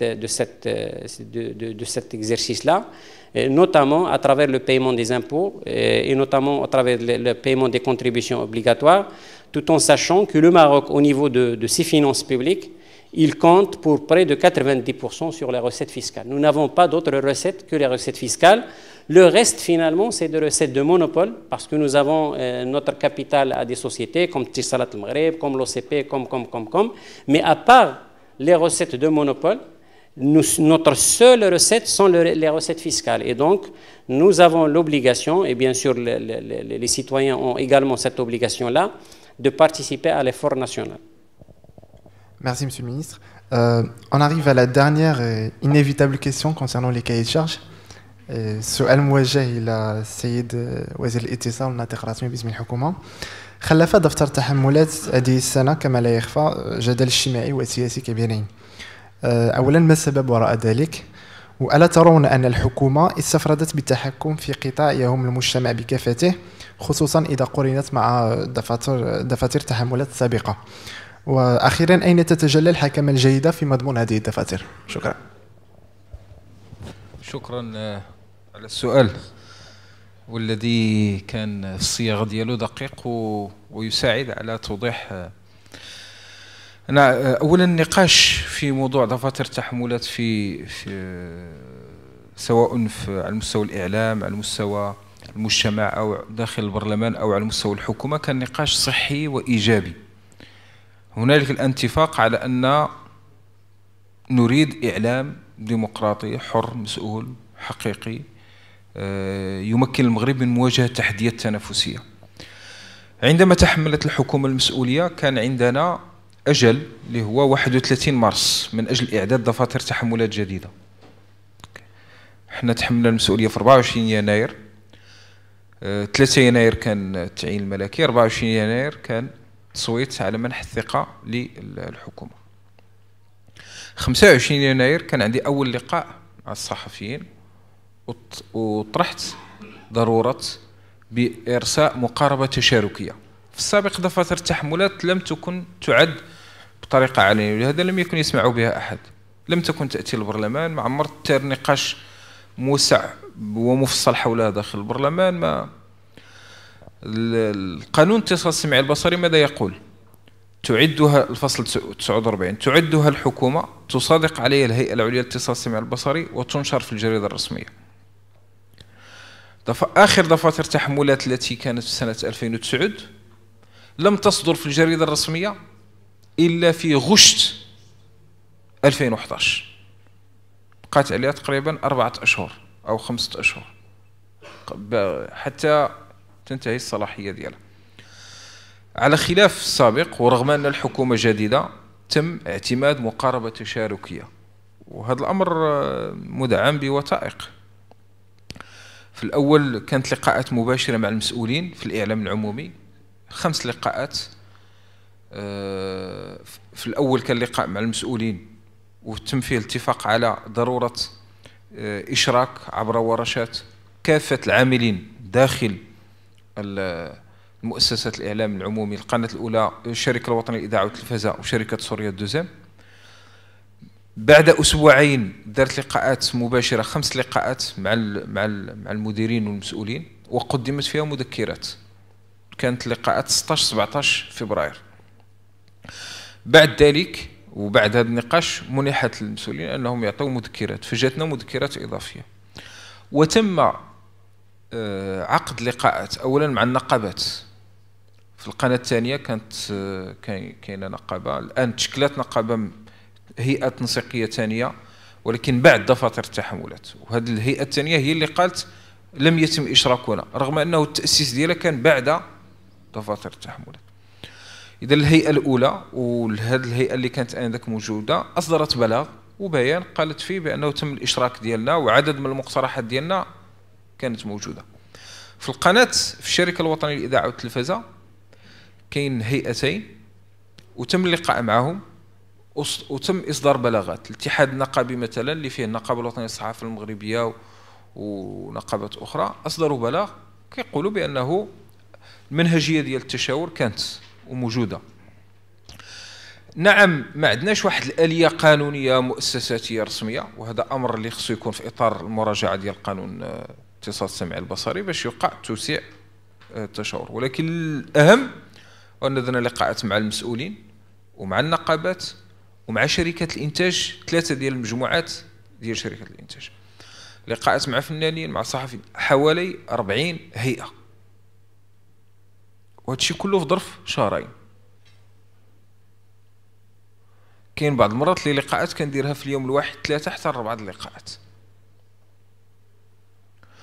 ثم بعد ذلك درنا واحد الدراسة أه أه واحد البنش ماركين شفنا فيه النموذج الفرنسي النموذج البريطاني النموذج الأمريكي النموذج الإيرلندي نماذج كاينة في العالم. لأن من هذه اللقاءات واللي فيها تم التقييم ديال دفاتر التحملات السابقة وصلنا لعدد من الإشكالات في la déontologie في la gouvernance la programmation في le service public les questions linguistiques on définit les problématiques ومشينا كنشوفوا التجارب الدولية. شنو قالت؟ مثلا في les questions ديال la déontologie شفنا النموذج البريطاني؟ في la gouvernance شفنا النموذج ديال ال Irish TV le service public شفنا. شوية من النموذج البريطاني والنموذج الفرنسي؟ في تحديد المعايير ديال البرمجة. شفنا النموذج الفرنسي اللي هو هو اللي اعتمد في 2009 les cahiers des charges؟ دار المبدا ديال les engagements au niveau des des programmes واعتمدنا هذاك المعيار. معايير اللي آه وهنا في فرنسا راه كان عندهم un débat public في 2009 le rapport Copé كان واضح. ما يمكنش الإعلام العمومي ينجح لما كانش مبني على التزامات ديال الخدمة العمومية وعلى قواعد ديال الحكامة الجيده من بعد ذلك دار دار un projet واللي تعطى ال HACA وال HACA اشتغلت معنا وراه صدرت بلاغ وكان تعاون وثيق. وهذاك التعاون الوثيق آه عطى دفاتر تحملات. في البداية تم التقديم ديالها في الندوة. كانت المواقف كلها إيجابية لكن من بعد بدأت صدرات مواقف. آه، آخرها آه، مقالة شفتها في هذا الصباح. اللي بدات تقول أمور غير صحيحة. مثلا جاء واحد قال اللغة الفرنسية تم منعها من القناة الثانية. اللي باني. قلت واش تهضر على داك يتشارج ديال شي بلاد ولا على ديال المغرب؟ لارتيكل 32 لي كلير في لي تشارج دو دوزيام بأن حافظنا على النسبة اللي كانت اونتر 20 و 25% لي كاي تشارج اللي كانوا القدام ما كانوش كينصوا على نشرة باللغة الفرنسية. هاد اللي كيتشارج كينصوا على نشرة باللغة الفرنسية. وقع واحد الخلط حول التوقيت. وهذا هو اللي في التقدير ديالي سبب واحد واحد لامالغام واحد الخلط. تار نقاش أيضا على آه، هذه حكومة إسلامية جاية باش تدير الإسلام. هذه حكومة عادية فيها تحالف حكومي فيه مكونات آه، متعددة. الميثاق ديال الأغلبية تيستند على الدستور والدستور حسم القضايا ديال الهوية بالمكونات ديالها. ف الإعلام العمومي ما يمكنش يكون خاضع لمنظور طائفي. ولهذا ناقشت بوضوح في, في ان أن الدراسة الموضوعيه لدفاتر التحملات. تقول بوضوح كاين القضية ديال التعددية توضعت لها قواعد جديدة قضية ديال الانفتاح لأن المغرب كبلد موقعه الجغرافي التركيبة ديالو الاجتماعية التنوع ديالو اللغوي العلاقات ديالو التاريخية ما يمكنش إحنا كبلد نتراجعوا على الخيارات ديال الانفتاح والتعددية. ليس فقط أن نتراجع عليها بل إحنا مطالبين باستثمارها لأن التعددية والانفتاح هي العناصر القوة اللي عطات للمغرب واحد الوضع خاص. ودابا الآن شوفوا المنطقة العربية ككل وكيفاش نجحنا كبلد في زمن الربيع الديمقراطي أننا نديروا ما يسمى بالطريق الثالث. لا هو كما قلت طريق الثوره ولا طريق البقاء في المنظور السابق ديال ديال ديال التحكم. لا درنا طريق ثالث. وهذا الطريق الثالث هو اللي الآن فعال وخدام. وجعلنا من الناحية الاقتصادية كاين دول اللي ارتبكت بحيث معدلات النمو ديالها نزلت لصفر. دابا الآن نحن في واحد الوضعية اللي يمكن يكون معدل النمو ديال في الحدود ديال 4 أو أو أربعة صافي. مزيان. 4% وهذا هذا معطى اللي هو مهم في الظرفية اللي كان عندنا الجفاف وارتفعت أسعار البترول اذا المنهجية المرتكزات اللي بها إحنا تقدمنا هي المرتكزات القائمة. اولا كنحافظوا على الهوية ديالنا ومعتزين بالهوية المغربية ديالنا. وكنوقفوا عليها. وأحد مكونات هذه الهوية هو أنها كتضمن التعدديه في إطار الوحدة.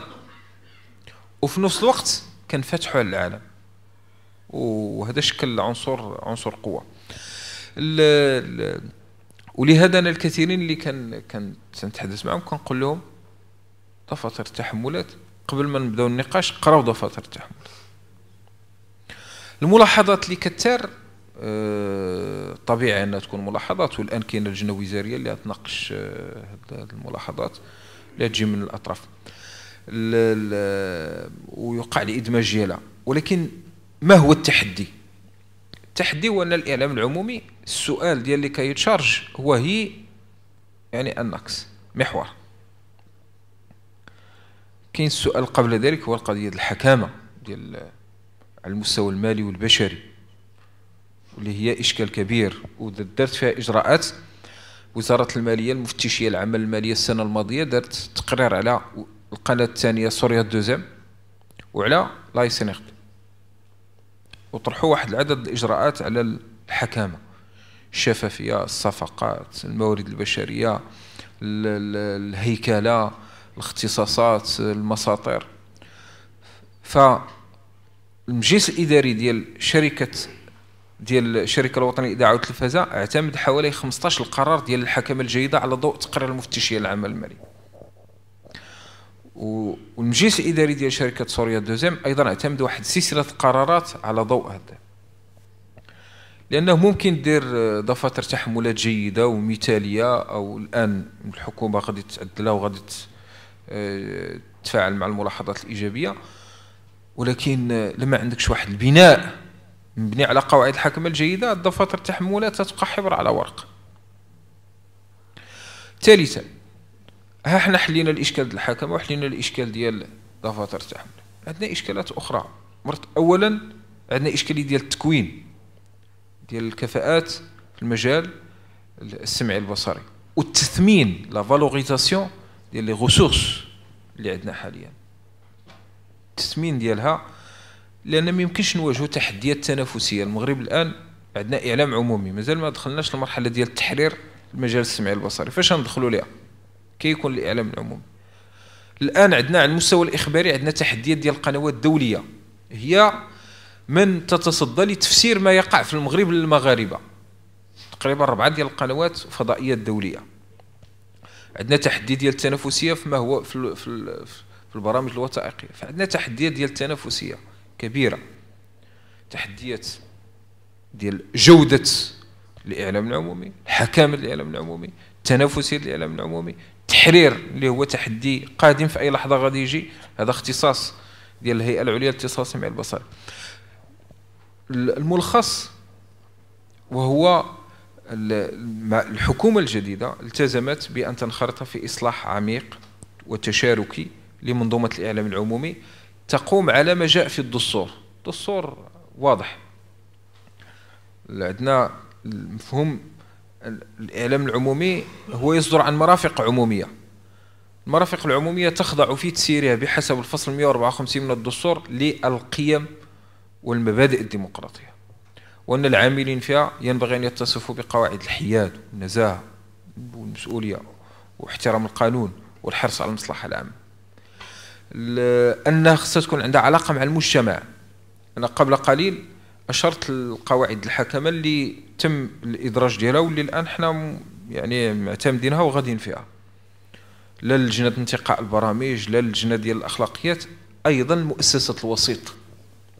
وأن الإعلام العمومي خصو يلتزم باش الاقتراحات والملاحظات والتظلمات ديال الجمهور يتب يتفاعل معها ويأمن التتبع ديالها.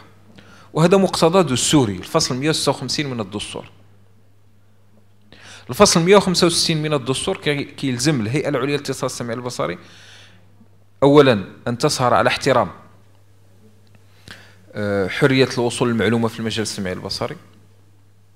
ثانيا أن تسهر على وهذا أيضا معطى مهم احترام تعددية تيارات الرأي والفكر ماشي فقط التعددية الحزبية. تعددية تيارات الرأي والفكر كل التيارات خصها تلقى المكان ديالها وذلك في إطار احترام القوانين والقيم آه، في إطار احترام القيم الحضارية وقوانين المملكة. هذا الفصل 165 من الدستور.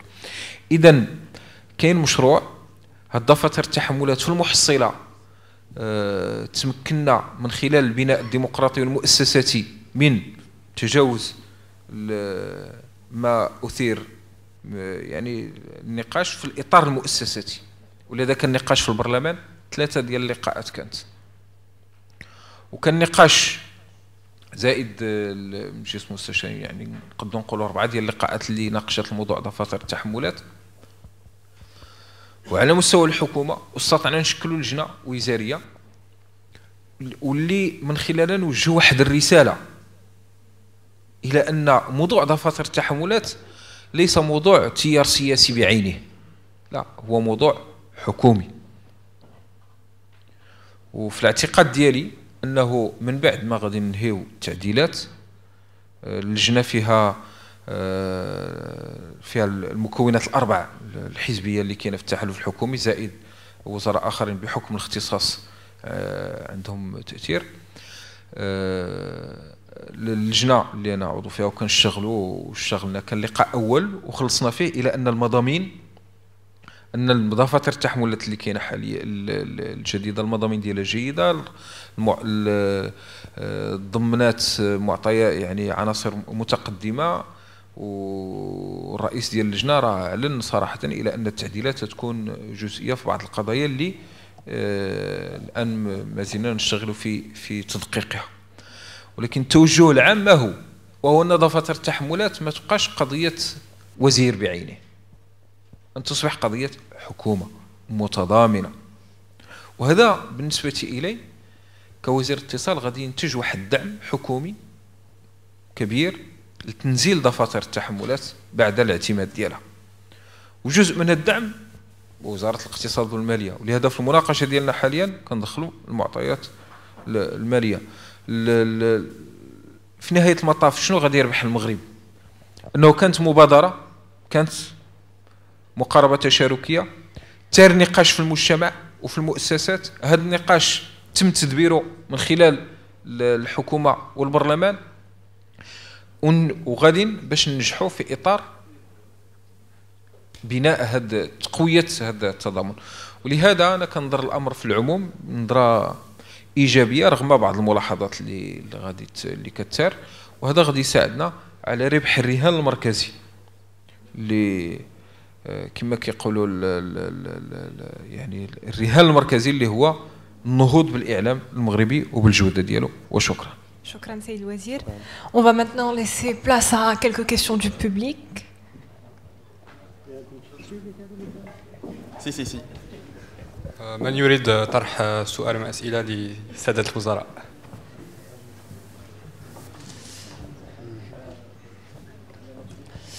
السلام عليكم صهيب العزوزي alors عندي واحد جوج ثلاثة ديال les questions.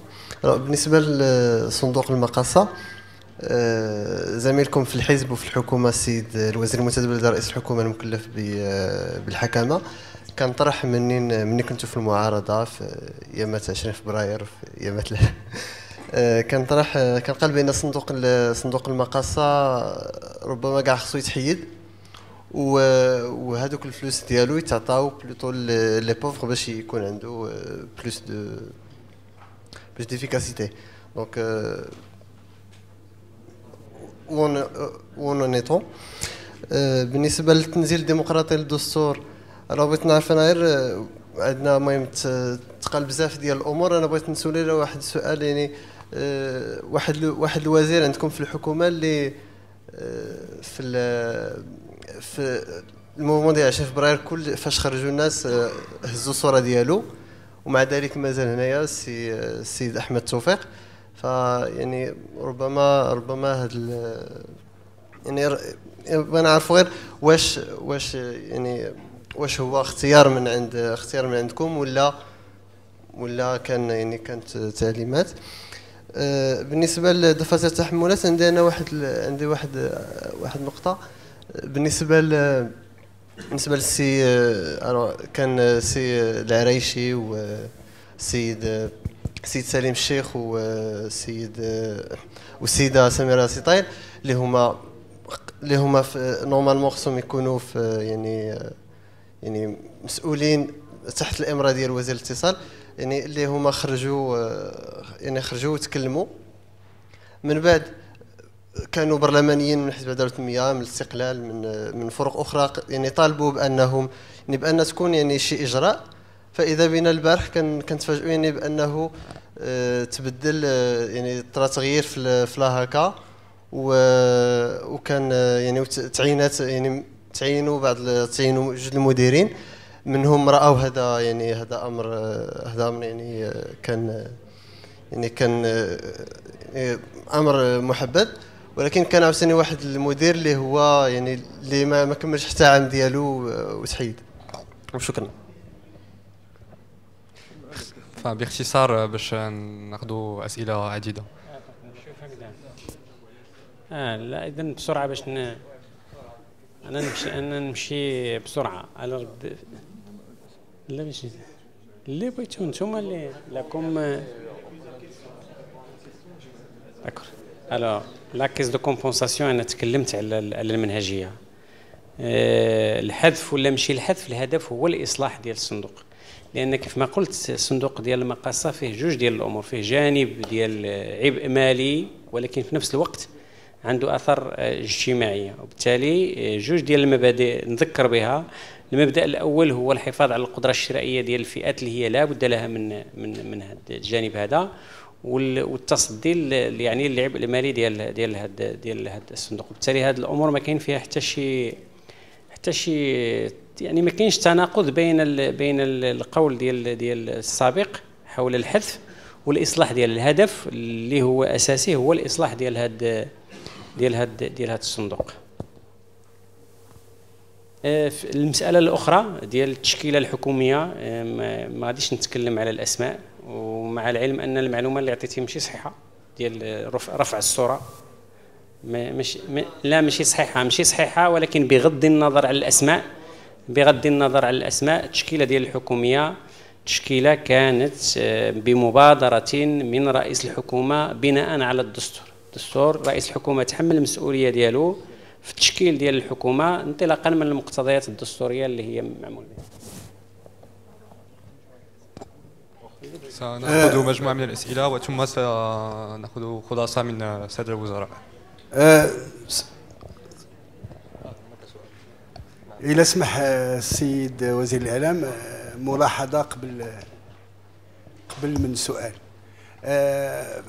ما يخص ميداوي صحفي صحفي كولابوراتور avec le journal Libération français في أخبار اليوم بالعربيه إلى سمح السيد الوزير ملاحظه هو بشان دفاتر التحملات هو هذه ظاهره صحيه سليمه جدا اول مره كنشوفه في المغرب وزير اعلام كيشمر على الساعد ديالو كيبحث على على أرضية مناخ تشاوري باش يوصل باش يرفع من من من صورة الإعلام في المغرب. المساله المطروحه ماشي هي هذه أنه آه كما قال السيد الوزير مقاربة تشاركية. ماشي هي اللي مطروحة في المغرب. اللي مطروح في المغرب هو آه ما محل وزارة في هذه في هذه العملية. الحكومة يمكن ولكن الوزارة نشوف المؤسسات العمومية اللي كاينة في المغرب. التلفزيون لا ماب مثلا دوزيم التلفزة الوطنية. القوانين التأسيسية ديالها كلها كتركز في البداية على أنها مؤسسات تبع تعبر عن وجهة نظر الحكومة. سيتادير ناطقة باسمها ماشي مؤسسات وطنية. ما كتعكش أفكار مكونات الشعب المغربي. هي هي مؤسسات كتدافع على الحكومة وعلى وجهة نظر الحكومة. وزارة الإعلام في هذه الحالة هذه وزارة الإعلام إلا هي تشحنات شنو كيوقع؟ وهذا الشيء اللي وقع الهزة الاجتماعية اللي وقعت قالت أنه هنا هناك أجندة سياسية لخدمة هذه الدفاتر التحملات. هناك آه، آه، صراع داخل تيارين في المغرب. تيار حدثي ليبرالي كيدافع على حرية الإعلام. تيار محافظ جا باش يوضع واحد واحد الأسس جديدة ديال التعامل مع الإعلام. وهنا كيبان أنه وزارة الإعلام في الدول الديمقراطية كلها وزارة الإعلام دورها خصو يكون إلا كانت ما خصهاش تكون هي. وزارة الإعلام لا محل وكان كان ماذا بيا أنا حزب العداله والتنميه يجي بهاد بهاد بهاد الثوره على اعلاميه جديده وزاره الاعلام اذا كانت تكون عندها آه، دور تشاور دور توجيهي تشاوري محض الفاعلين الاجتماعيين الفاعلين الاعلاميين الفاعلين هنا شنو قال الدوزام شنو قالها بالفعل انه حشرات وزاره الاعلام نفسها في امور دقيقه في لي ديتاي فبعد التفاصيل بعد الجزئيات اللي كانت آه، اللي ما يمكنش تقبل لانها هي احترافية. معناه أنه كتمس المسألة الاحترافية. قال السيد الوزير دابا أنه آه، دفتر التحملات هضر على القنوات الأجنبية. وفي دفتر التحملات كيتشار بوضوح أنه خصنا نقويو العرض الإخباري. علاش؟ لأنه كاين هروب أو نف أو هجرة مغربية نحو القنوات الأجنبية. حنا ما بغيناش تقوية العرض الإخباري. بغينا تحسين العرض الإخباري. تحسين المنتوج الإعلامي. بشكل أنه يتماهى مع تطلعات مستنبت من صميم البيئه المغربية. هذا هذا السؤال ديالي هو واش كتشوفوا أنه وزارة الإعلام كانت تخلي الحكومة هي اللي تقوم بهذه المسألة أو كان أو كان ضروري يكون عندها هي اليد ديالها مساله مساله نتاع الاقتصاد الله يخليك بور السيد الوزير ديال vous avez soulevé la question de la croissance vous avez euh, dans tous les chiffres que vous avez présentés vous avez vous vous êtes basé sur une croissance de 7%. Il n'y a aucun indice qui nous permet de voir, euh, vous avez dit tout à l'heure 4%, même pas 4%, c'est entre 2,5 et 3%, il n'y a pas de 4%, il y a, mieux encore, euh, les autres gouvernements ont lié l'économie marocaine au marché européen, à l'Union européenne, ils n'ont pas trouvé d'autres bouchées, maintenant on paye, on paye les conséquences. Euh, est-ce que dans, votre, dans la mise en application de votre programme de gouvernement, qui est bien sûr le programme de PJD, est-ce que vous allez, vous allez maintenir, cette, euh, euh, la hausse, euh, au niveau SMIC, au niveau pour les étudiants? Est-ce que c'est maintenu ou ce sont des projets qui, ne sont pas, qui vont être difficilement concrétisés? Merci. Euh, alaikum. السؤال ديالي للسيد آه، وزير الاتصال استكمالا لعمل التدقيق في دفتر التحملات تفاجأنا بتعيين السيد نبيل بن عبد الله كمسؤول عن هذا البرنامج. أولا نتساءل عن المنطق في تعيين وزير السكنة كمسؤول عن إعادة تدقيق برنامج دفتر التحملات الواقع تحت مسؤولية السيد وزير الاتصال آه هذا يدفعنا أكثر للاستغراب عندما آه نرى أن السيد بن عبد الله كان أول من انتقد بعض مضامين دفتر التحملات في آه خرق واضح لمبدأ التضامن الحكومي. فبالتالي ألا يعد تعيينه مسؤولا عن إعادة التدقيق؟ آه، تهيئة نفسية للشارع المغربي الذي استحسن مضامين آه، دفتر التحملات حتى يتقبل في شهر شتنبر دفترا جديدا ممسوخا لا يمت بصلة للبرنامج الذي قدمتموه والذي من أجله انتخبتم كحكومة آه، ديمقراطية. شكرا سيد. السؤال الأخير وثم سنعطيكم فرصة للجواب. شكرا. السؤال الأول موجه للسي الخلفي ولكن elle rejoint la question précédente على دفتر التحملات واش كاين شي تراجع في دفاتر التحملات كاينين تغيرات؟ شنو هما هاد التغيرات اللي دخلتهم على دفاتر التحملات وعلاش نبيل بن عبد الله اش اش جاي يدير في الاتصال راه كان في الاتصال كاين دابا عنده ما يدير في السكنة أحسن يبقى في السكنة. ف رأي شنو هو رأيكم بخصوص هذا الأمر؟ السؤال الثاني موجه للسي الأزامي بخصوص الإصلاح الضريبي. واش غتكون عند الحكومة؟ واحد الجرأة سياسية باش تطرق لهذا الموضوع اللي شوية شائك ديال الإصلاح الضريبي إصلاح شامل. تكون عندنا واحد la justice fiscale notamment ce qui concerne la TVA, revoir les tranches TVA, harmoniser TVA entre les différents produits.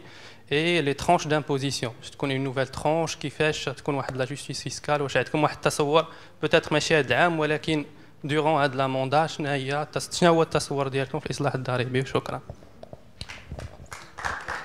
شكرا اليكم الكلمة اذا بسرعة قبل نجاوب على السؤال ديال 7% غادي ندخل في هذا الشيء ديال الإعلام ولكن غير بإشارة بسيطة.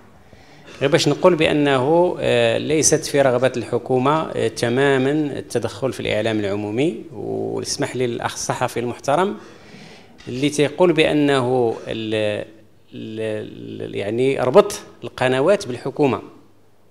ربط القنوات بالحكومة وتيقول بأن هذا الشيء كاين حتى في يعني في في القوانين ديالها.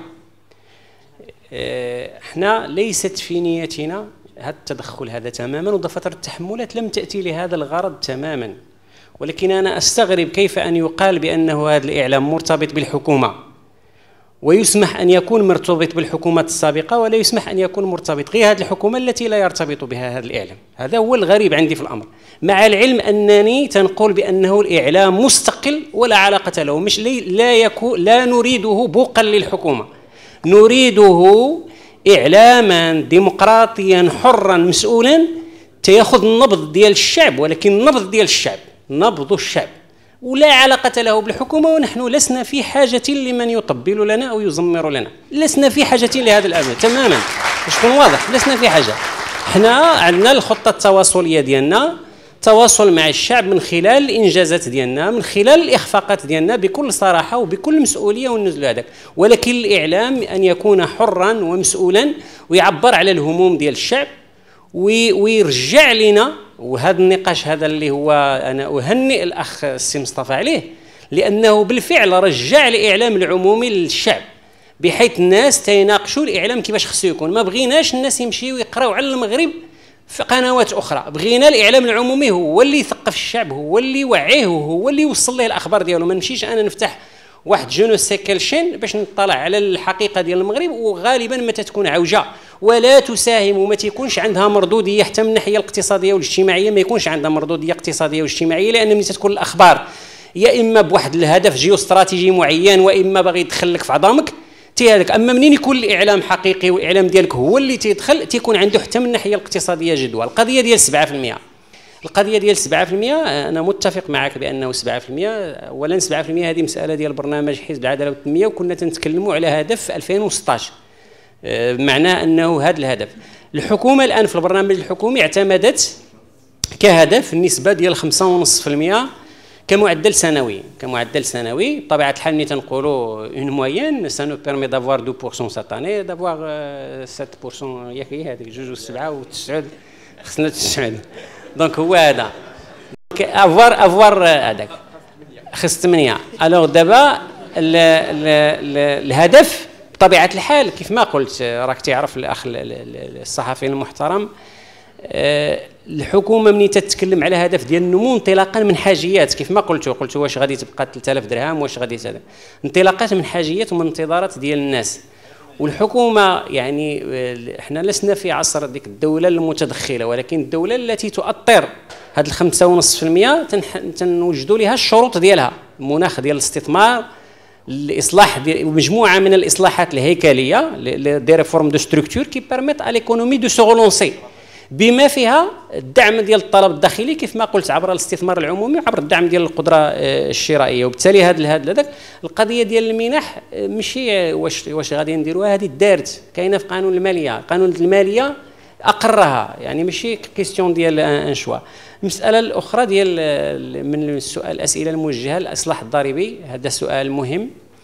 وكيف ما قلت أنا في الإصلاحات الكبرى داخل فيها الإصلاح الضريبي إحنا قررنا باش إن شاء الله الرحمن الرحيم سيكون هناك مناظرة وطنية حول الإصلاح الضريبي شنو هو الهدف منها؟ هو اولا آه، غادي ما غاديش نبدأ بالمردودية المالية نبدأ يمكن ما يسمى ما يمكن أن يسمى المردودية الاجتماعية للضريبه الإعادة ديال الثقة بين المواطن وبين الإدارة الضريبيه الآن تنعيش باش نكونوا بصراحة أزمة ثقه بين المواطن وبين الإدارة الضريبية مع بالرغم من أننا في حاجة لهذه الموارد الضريبية. هذه إعادة الثقة بكون أنه تكون عندنا une administration fiscale citoyenne معناه أن المواطن ما يكونش مواطن آه، من الناحيه الضريبية يعتبر مواطن بريء. ما يكونش مواطن متهم راه غادي مواطن تيدير l'évasion ولا تيدير la fraude وهذا ما غاديش يكون بالكلام. هذا تنشتغلوا على مجموعة من المشاكل. أنا نعطيكم مثال بسيط ديال la TPI la taxe sur la promotion les profits immobiliers عفوا. la taxe sur les profits immobiliers هذه c'est une taxe لا بد يكون شي واحد فيكم تقاس بهذه الطريقة هذه. منين تتبيع الدار ديالك؟ تتمشي تتصرح تتقول اودي أنا بعتها ب 80 مليون. تدوز أربع سنين وأنت جالس خلصتي الضريبة من بعد أربع سنين تيجي تيقول لك لا ما بعتيهاش ب 80 مليون بعتيها ب 100 مليون. تتكون انت ما نتكلمش على الحالات ديال الناس اللي تيديروا les profits immobiliers pour un aspect économique. أنا مواطن عادي آه، تزير عليا الزمان بعت الدار باش نعالج شي مشكل نقري ولدي ولا ما عرفش. après 4 انت ديك 80 مليون استهلكتيها يا إما مشيتي بها في un projet avec ton fils ولا مشيتي بها في un projet ديال المرض ولا je ne sais quoi après 4 تيقول لك لا ما بعتيهاش ب 80 مليون بعتيها ب 120 مليون أجي تخلص. انت أصلا ديك 80 c'est un capital que tu détruis totalement ما بقى عندك والو. بحال هاد الأمور هذه المنازعات الضريبية 74% du contentieux fiscal il est dû لهاد la TPI بهاد الطريقة هذه قلنا بأنه خص نقاش على هاد la taxe هذه باش نديرو كاين plusieurs mécanismes كاين دابا داك الشيء ديال المسح العقاري كاين ال GPS كاين je ne sais quoi. باش نعرفوا نعرفوا هاد la zone هذه غنقولوا فيها بأنه المتر مربع هنا تيدير 5000 درهم متر مربع. انت سير بيع باش ما بغيتي ولكن انت تعرف بأنه من الناحيه الضريبية انت مسؤول على 5000 درهم par mètre carré ولكن وانتهت القضية هنا. تجي تتخلص على واحد الأساس اللي هو معروف وتنصافي تنساني وتنساك. الإدارة تنسى المواطن والمواطن تنسى الإدارة. وبالتالي هذا هو الإصلاح اللي بغيناه. بغينا إصلاح اللي تيمشي اللي هي مشاكل عملية اللي تيشكو منها المواطن واللي هي اللي تتخدم الجانب ديال الثقة.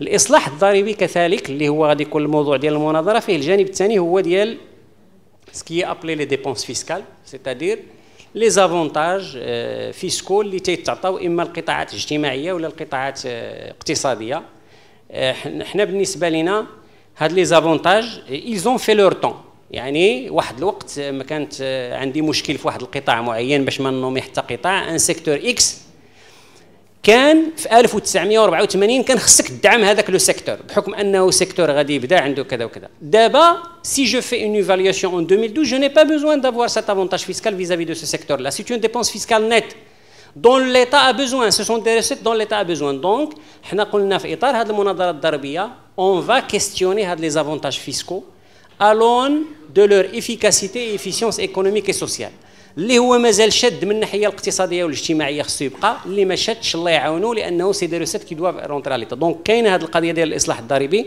بهذا الوجه هذا توسيع ديال الوعاء العدالة الضريبية الثقة بين الملزم والمواطن ولكن بإجراءات حقيقية اللي الهدف النهائي في هذا الإصلاح هذا. بالإضافة للمردودية المالية هو آه، هذا عندي قناعة هو التقليص ديال السلطة التقديرية ديال الإدارة الضريبية. la la réduction du pouvoir discrétionnaire de l'administration fiscale. Il ne doit pas y avoir un pouvoir discrétionnaire de l'administration fiscale sur la lecture des textes ou sur la lecture de tout ce qui suit la procédure fiscale. يكون داك الشيء واضح هذه الطريقه باش غادي تتعامل باش يكون واحد الثقه اللي هي عندها مردوديه في الحقيقه اقتصاديه واجتماعيه وماليه على على البلاد Donc, euh, faute de temps, nous allons devoir. Euh, euh, ah, excusez-moi. Je vous en prie. طيب اولا قضية دفاتر التحملات وزارة الاتصال بحكم القانون هي الملزمة بإعدادها في مارس 2008 صدر المرسوم عن الحكومة ذاك اللي السابقه اللي كيحدد اختصاصات وزارة الاتصال والذي يلزم وزارة الاتصال بإعداد دفاتر التحملات وهذا الذي حصل في دفتر التحملات في 2006 الأول ودفتر التحملات الثاني ديال 2009 علينا أن ننسى أن الحكومة تعد دفاتر التحملات. لا يمكن أن تصبح نافذة إلا بعد مصادقة الهيئة العليا للاتصال السمعي البصري اللي في التركيبة ديالها كاينة مختلف التيارات. توجهات. والهيئة العليا للاتصال السمعي البصري تم تكوينها قبل مجيء الحكومة الحالية. هذا أمر الأمر اذا العملية ديال الإعداد تخضع لهذا والهكا هي مؤسسة دستورية مستقلة عن الحكومة. هذه ينبغي أن نكون دقيقين فيها. المسألة ديال أن المقاربة التشاركية النقاش في البرلمان اللي راه في اليوتيوب. يوتيوب كاين تسجيل ديال النقاش حول الموضوع. في الحصة الثانية ديال النقاش الإشكال الذي أثارته عدد من الفرق هو مسألة المقاربة التشاركية بشكل أساسي. في بعض التجارب الدولية مثلا النموذج البريطاني الاجريمنتس the agreements between the the Ministry of Culture and uh, and Media and Youth and مع البي بي سي ال British Broadcasting Corporation هذا ال agreement تتعرض أمام البرلمان presented to the parliament. يعني البرلمان تيكون هو طرف. هذه عندهم آه، آه، أساسية. حنا القانون الاتصال السمعي البصري ما ما فيش هذا المعطى. فصل 49 آه، أعتقد أنه يمكن الوصول لواحد الصيغة اللي تكون العملية لأن العملية التشاركية ماشي هي التشاورية. يمكن يكون التشاور ولكن التدبير التشاركي هو من بعد التشاور الملاحظات اللي اقترحتها كتكون يؤخذ بها في العملية ديال صنع القرار. هو الجوهر. الإشكالية التي أثيرت في المغرب ما كانش صراع بين التيارين. ودارت استطلاعات رأي إلكترونية عفوية دارت نقاش عمومي. دفاتر التحملات في المجمل ديالها كاين عليها تأييد واسع. يعني بما آه، رئيس اللجنة الوزارية يعني من من المصرحين الأساسيين بهذه القضية. كاين واحد الاتفاق على أن البنية الأساسية أن دفاتر التحملات آه، شكلت واحد الخطوة متقدمة في واحد العدد من الأمور. بقية بعض النقاط نحن الآن اللجنة مازال ما حصرتهاش مازال النقاش كاين فيها. داخل الحكومة عندنا واحد المنهجية أنه كيمكن تار واحد القضية اللي كيكون عندها واحد البعد أفقي أو رغبة أنه يكون واحد واحد الإجماع أو بناء واحد التضامن حكومي حول مشروع كنشكلوا لجان. مثلا اللجنة الوزارية المكلفة بالتشغيل. ما درناش عليها وزير التشغيل. سياسة أفقية. عدد من المتدخلين. نفس الأمر. لأنه في هذه القضية إحنا محتاجين باش دفاتر التحملات الجديدة بعد إدخال التعديلات يتبنى عليها واحد التضامن واحد دعم حكومي كي كيجمع مختلف الأحزاب المشكلة التحالف. وحتى المعطيات اللي كانت في النقاش البرلماني غادي ناخذوها بعين الاعتبار. لماذا؟ لأن الإعلام وهذا توجه ديال الحكومة نريد إعلام عمومي ماشي إعلام ديال الدعاية لهذا الحزب أو لهذا الطرف أو كذا. إعلام عمومي. والإجراءات اللي دارت ما دخلناش في التفاصيل. الأخ تحدث على التفاصيل ما دخلناش. لقان في دفتر التحملات السابق مثلا القناه الثانية كيتحدث على عشر برامج ثقافية مجلات ثقافية. هذا الدفتر كيتحدث على ثلاثة. تبنينا المقاربة الفرنسية اللي كتحدث على الالتزامات الحد الأدنى للخدمة العمومية. وفي هذيك الالتزامات من ناحية المساحة الزمنية كتشكل في هذيك 24 ساعة ديال البث كتشكل 15% وهادشي شرحته أمام البرلمان بدقة وبوضوح قبل حوالي ثلاث أسابيع. هاد كاين الإعلام العمومي كاينة خدمة عمومية ما هي المؤش... المؤشرات ديال الالتزام بها. كاين ما يسمى بالنشرات الإخبارية وهنا أنا متفق معك. ليس فقط مسألة التنويع آه، لا مسألة الجودة. عرض إخباري يجيو فيه محللين ومختصين وهذا الشيء من الأمور اللي حددناها. ولكن ليس فقط ذلك. البرامج الحوارية اللي مهتمه بالنشاط بالمجال السياسي. وأن هذه البرامج الحوارية غادي تخضع القواعد ديال التعددية اللي توضعها الهيئة العليا للاتصال السمعي البصري؟ ماشي الحكومة. اذا هنا شنو كيدار؟ كيولي الإعلام العمومي واحد الفضاء ديال النقاش ديال مختلف التيارات. لأنه كان في امكانك وكانت عندنا ثلاثة البرامج الحوارية ورجعتها برنامج واحد. عاد الناس خصها تحتج عليا. أما هي كاين برنامج واحد كاين اللي لقينا عنده برنامج في الشهر أو مرة كل أسبوعين. قلنا لي دير ثلاثة البرامج أسبوعين شنو المشكل؟ يجيو الناس المغاربة يناقشوا القضايا الشأن ديالهم وهذا هو اللي يؤدي إلى أن الحوار العمومي يؤدي إلى احداث شروط التنمية الاقتصادية والاجتماعية والثقافية اللي باغينها للبلد. وفي هذا الأمر فين دخلنا في شوية ديال التفاصيل؟ بحال أنا هنا كنحيل على النموذج الفرنسي لأنه هو من النماذج الحديثة. مازال ال agreement ديال البي بي سي كانت في 2006 ديال فرنسا كان في 2009 يعني دار من بعد آخر دفتر تحملات حنا وضعناه. يعني الحكومة السابقة. كيجيو كيقولوا حنا خصنا مجلات ثقافية 52 آه، دقيقة في البداية ديال السهرة يعني ال prime time ديالهم. وهاد المجلة الثقافية خصها تعالج هاد القضايا. لاحظوها في ال cahier de charges ديال دخلوا راه CSA ديال فرنسا معروف. ديروا CSA point fr je pense ولا point gouv ولا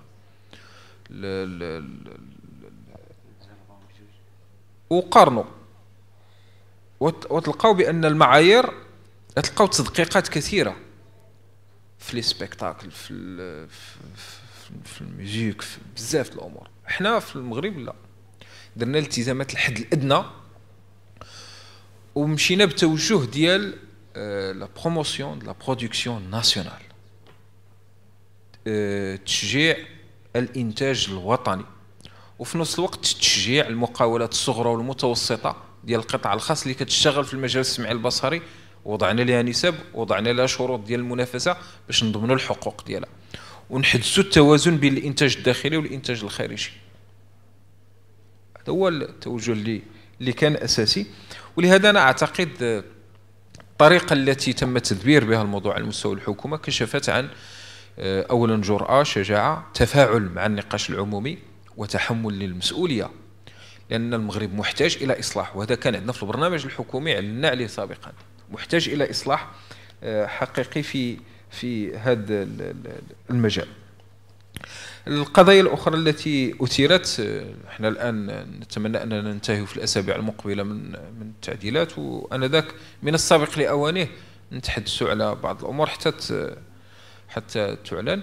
الآن لأساس أن اللجنة الحكومية تشتغل في إطار ميثاق الأغلبية وفي إطار التزامات البرنامج الحكومي. ولا يمكنها أن تعتمد أي شيء خارج ما تم اعتماده في إطار البرنامج الحكومي.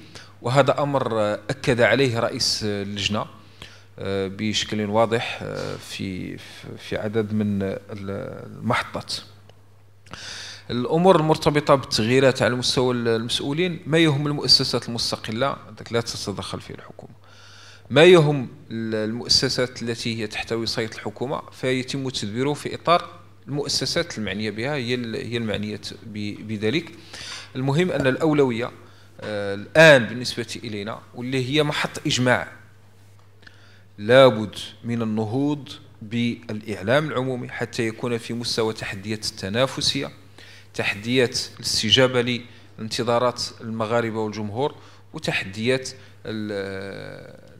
المرتبطة بالثورة التكنولوجية وما تتيحه من إمكانات هائلة في رفع الجودة.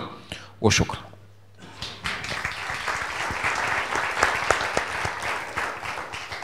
Donc, euh, au nom de tous les membres de l'AMGE Caravane, euh, je vous remercie, messieurs les ministres, euh, d'avoir accepté notre invitation et d'avoir répondu à toutes nos questions. Et donc, je laisse la parole à Khawla pour un petit mot de clôture. On va laisser une courte pause pour qu'on puisse se restaurer.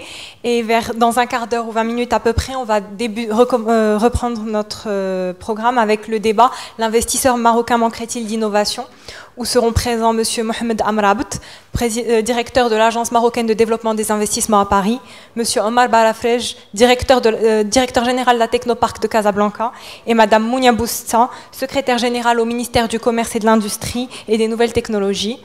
Par la suite, on aura une interview avec M. Saïd Ibrahimi, qui est le responsable du projet Casablanca Finance City, donc ça va être vers 16h. Puis enfin, une discussion avec l'artiste peintre exposante, Madame Shadia Haj Nasser. À tout à l'heure. Merci beaucoup. Merci.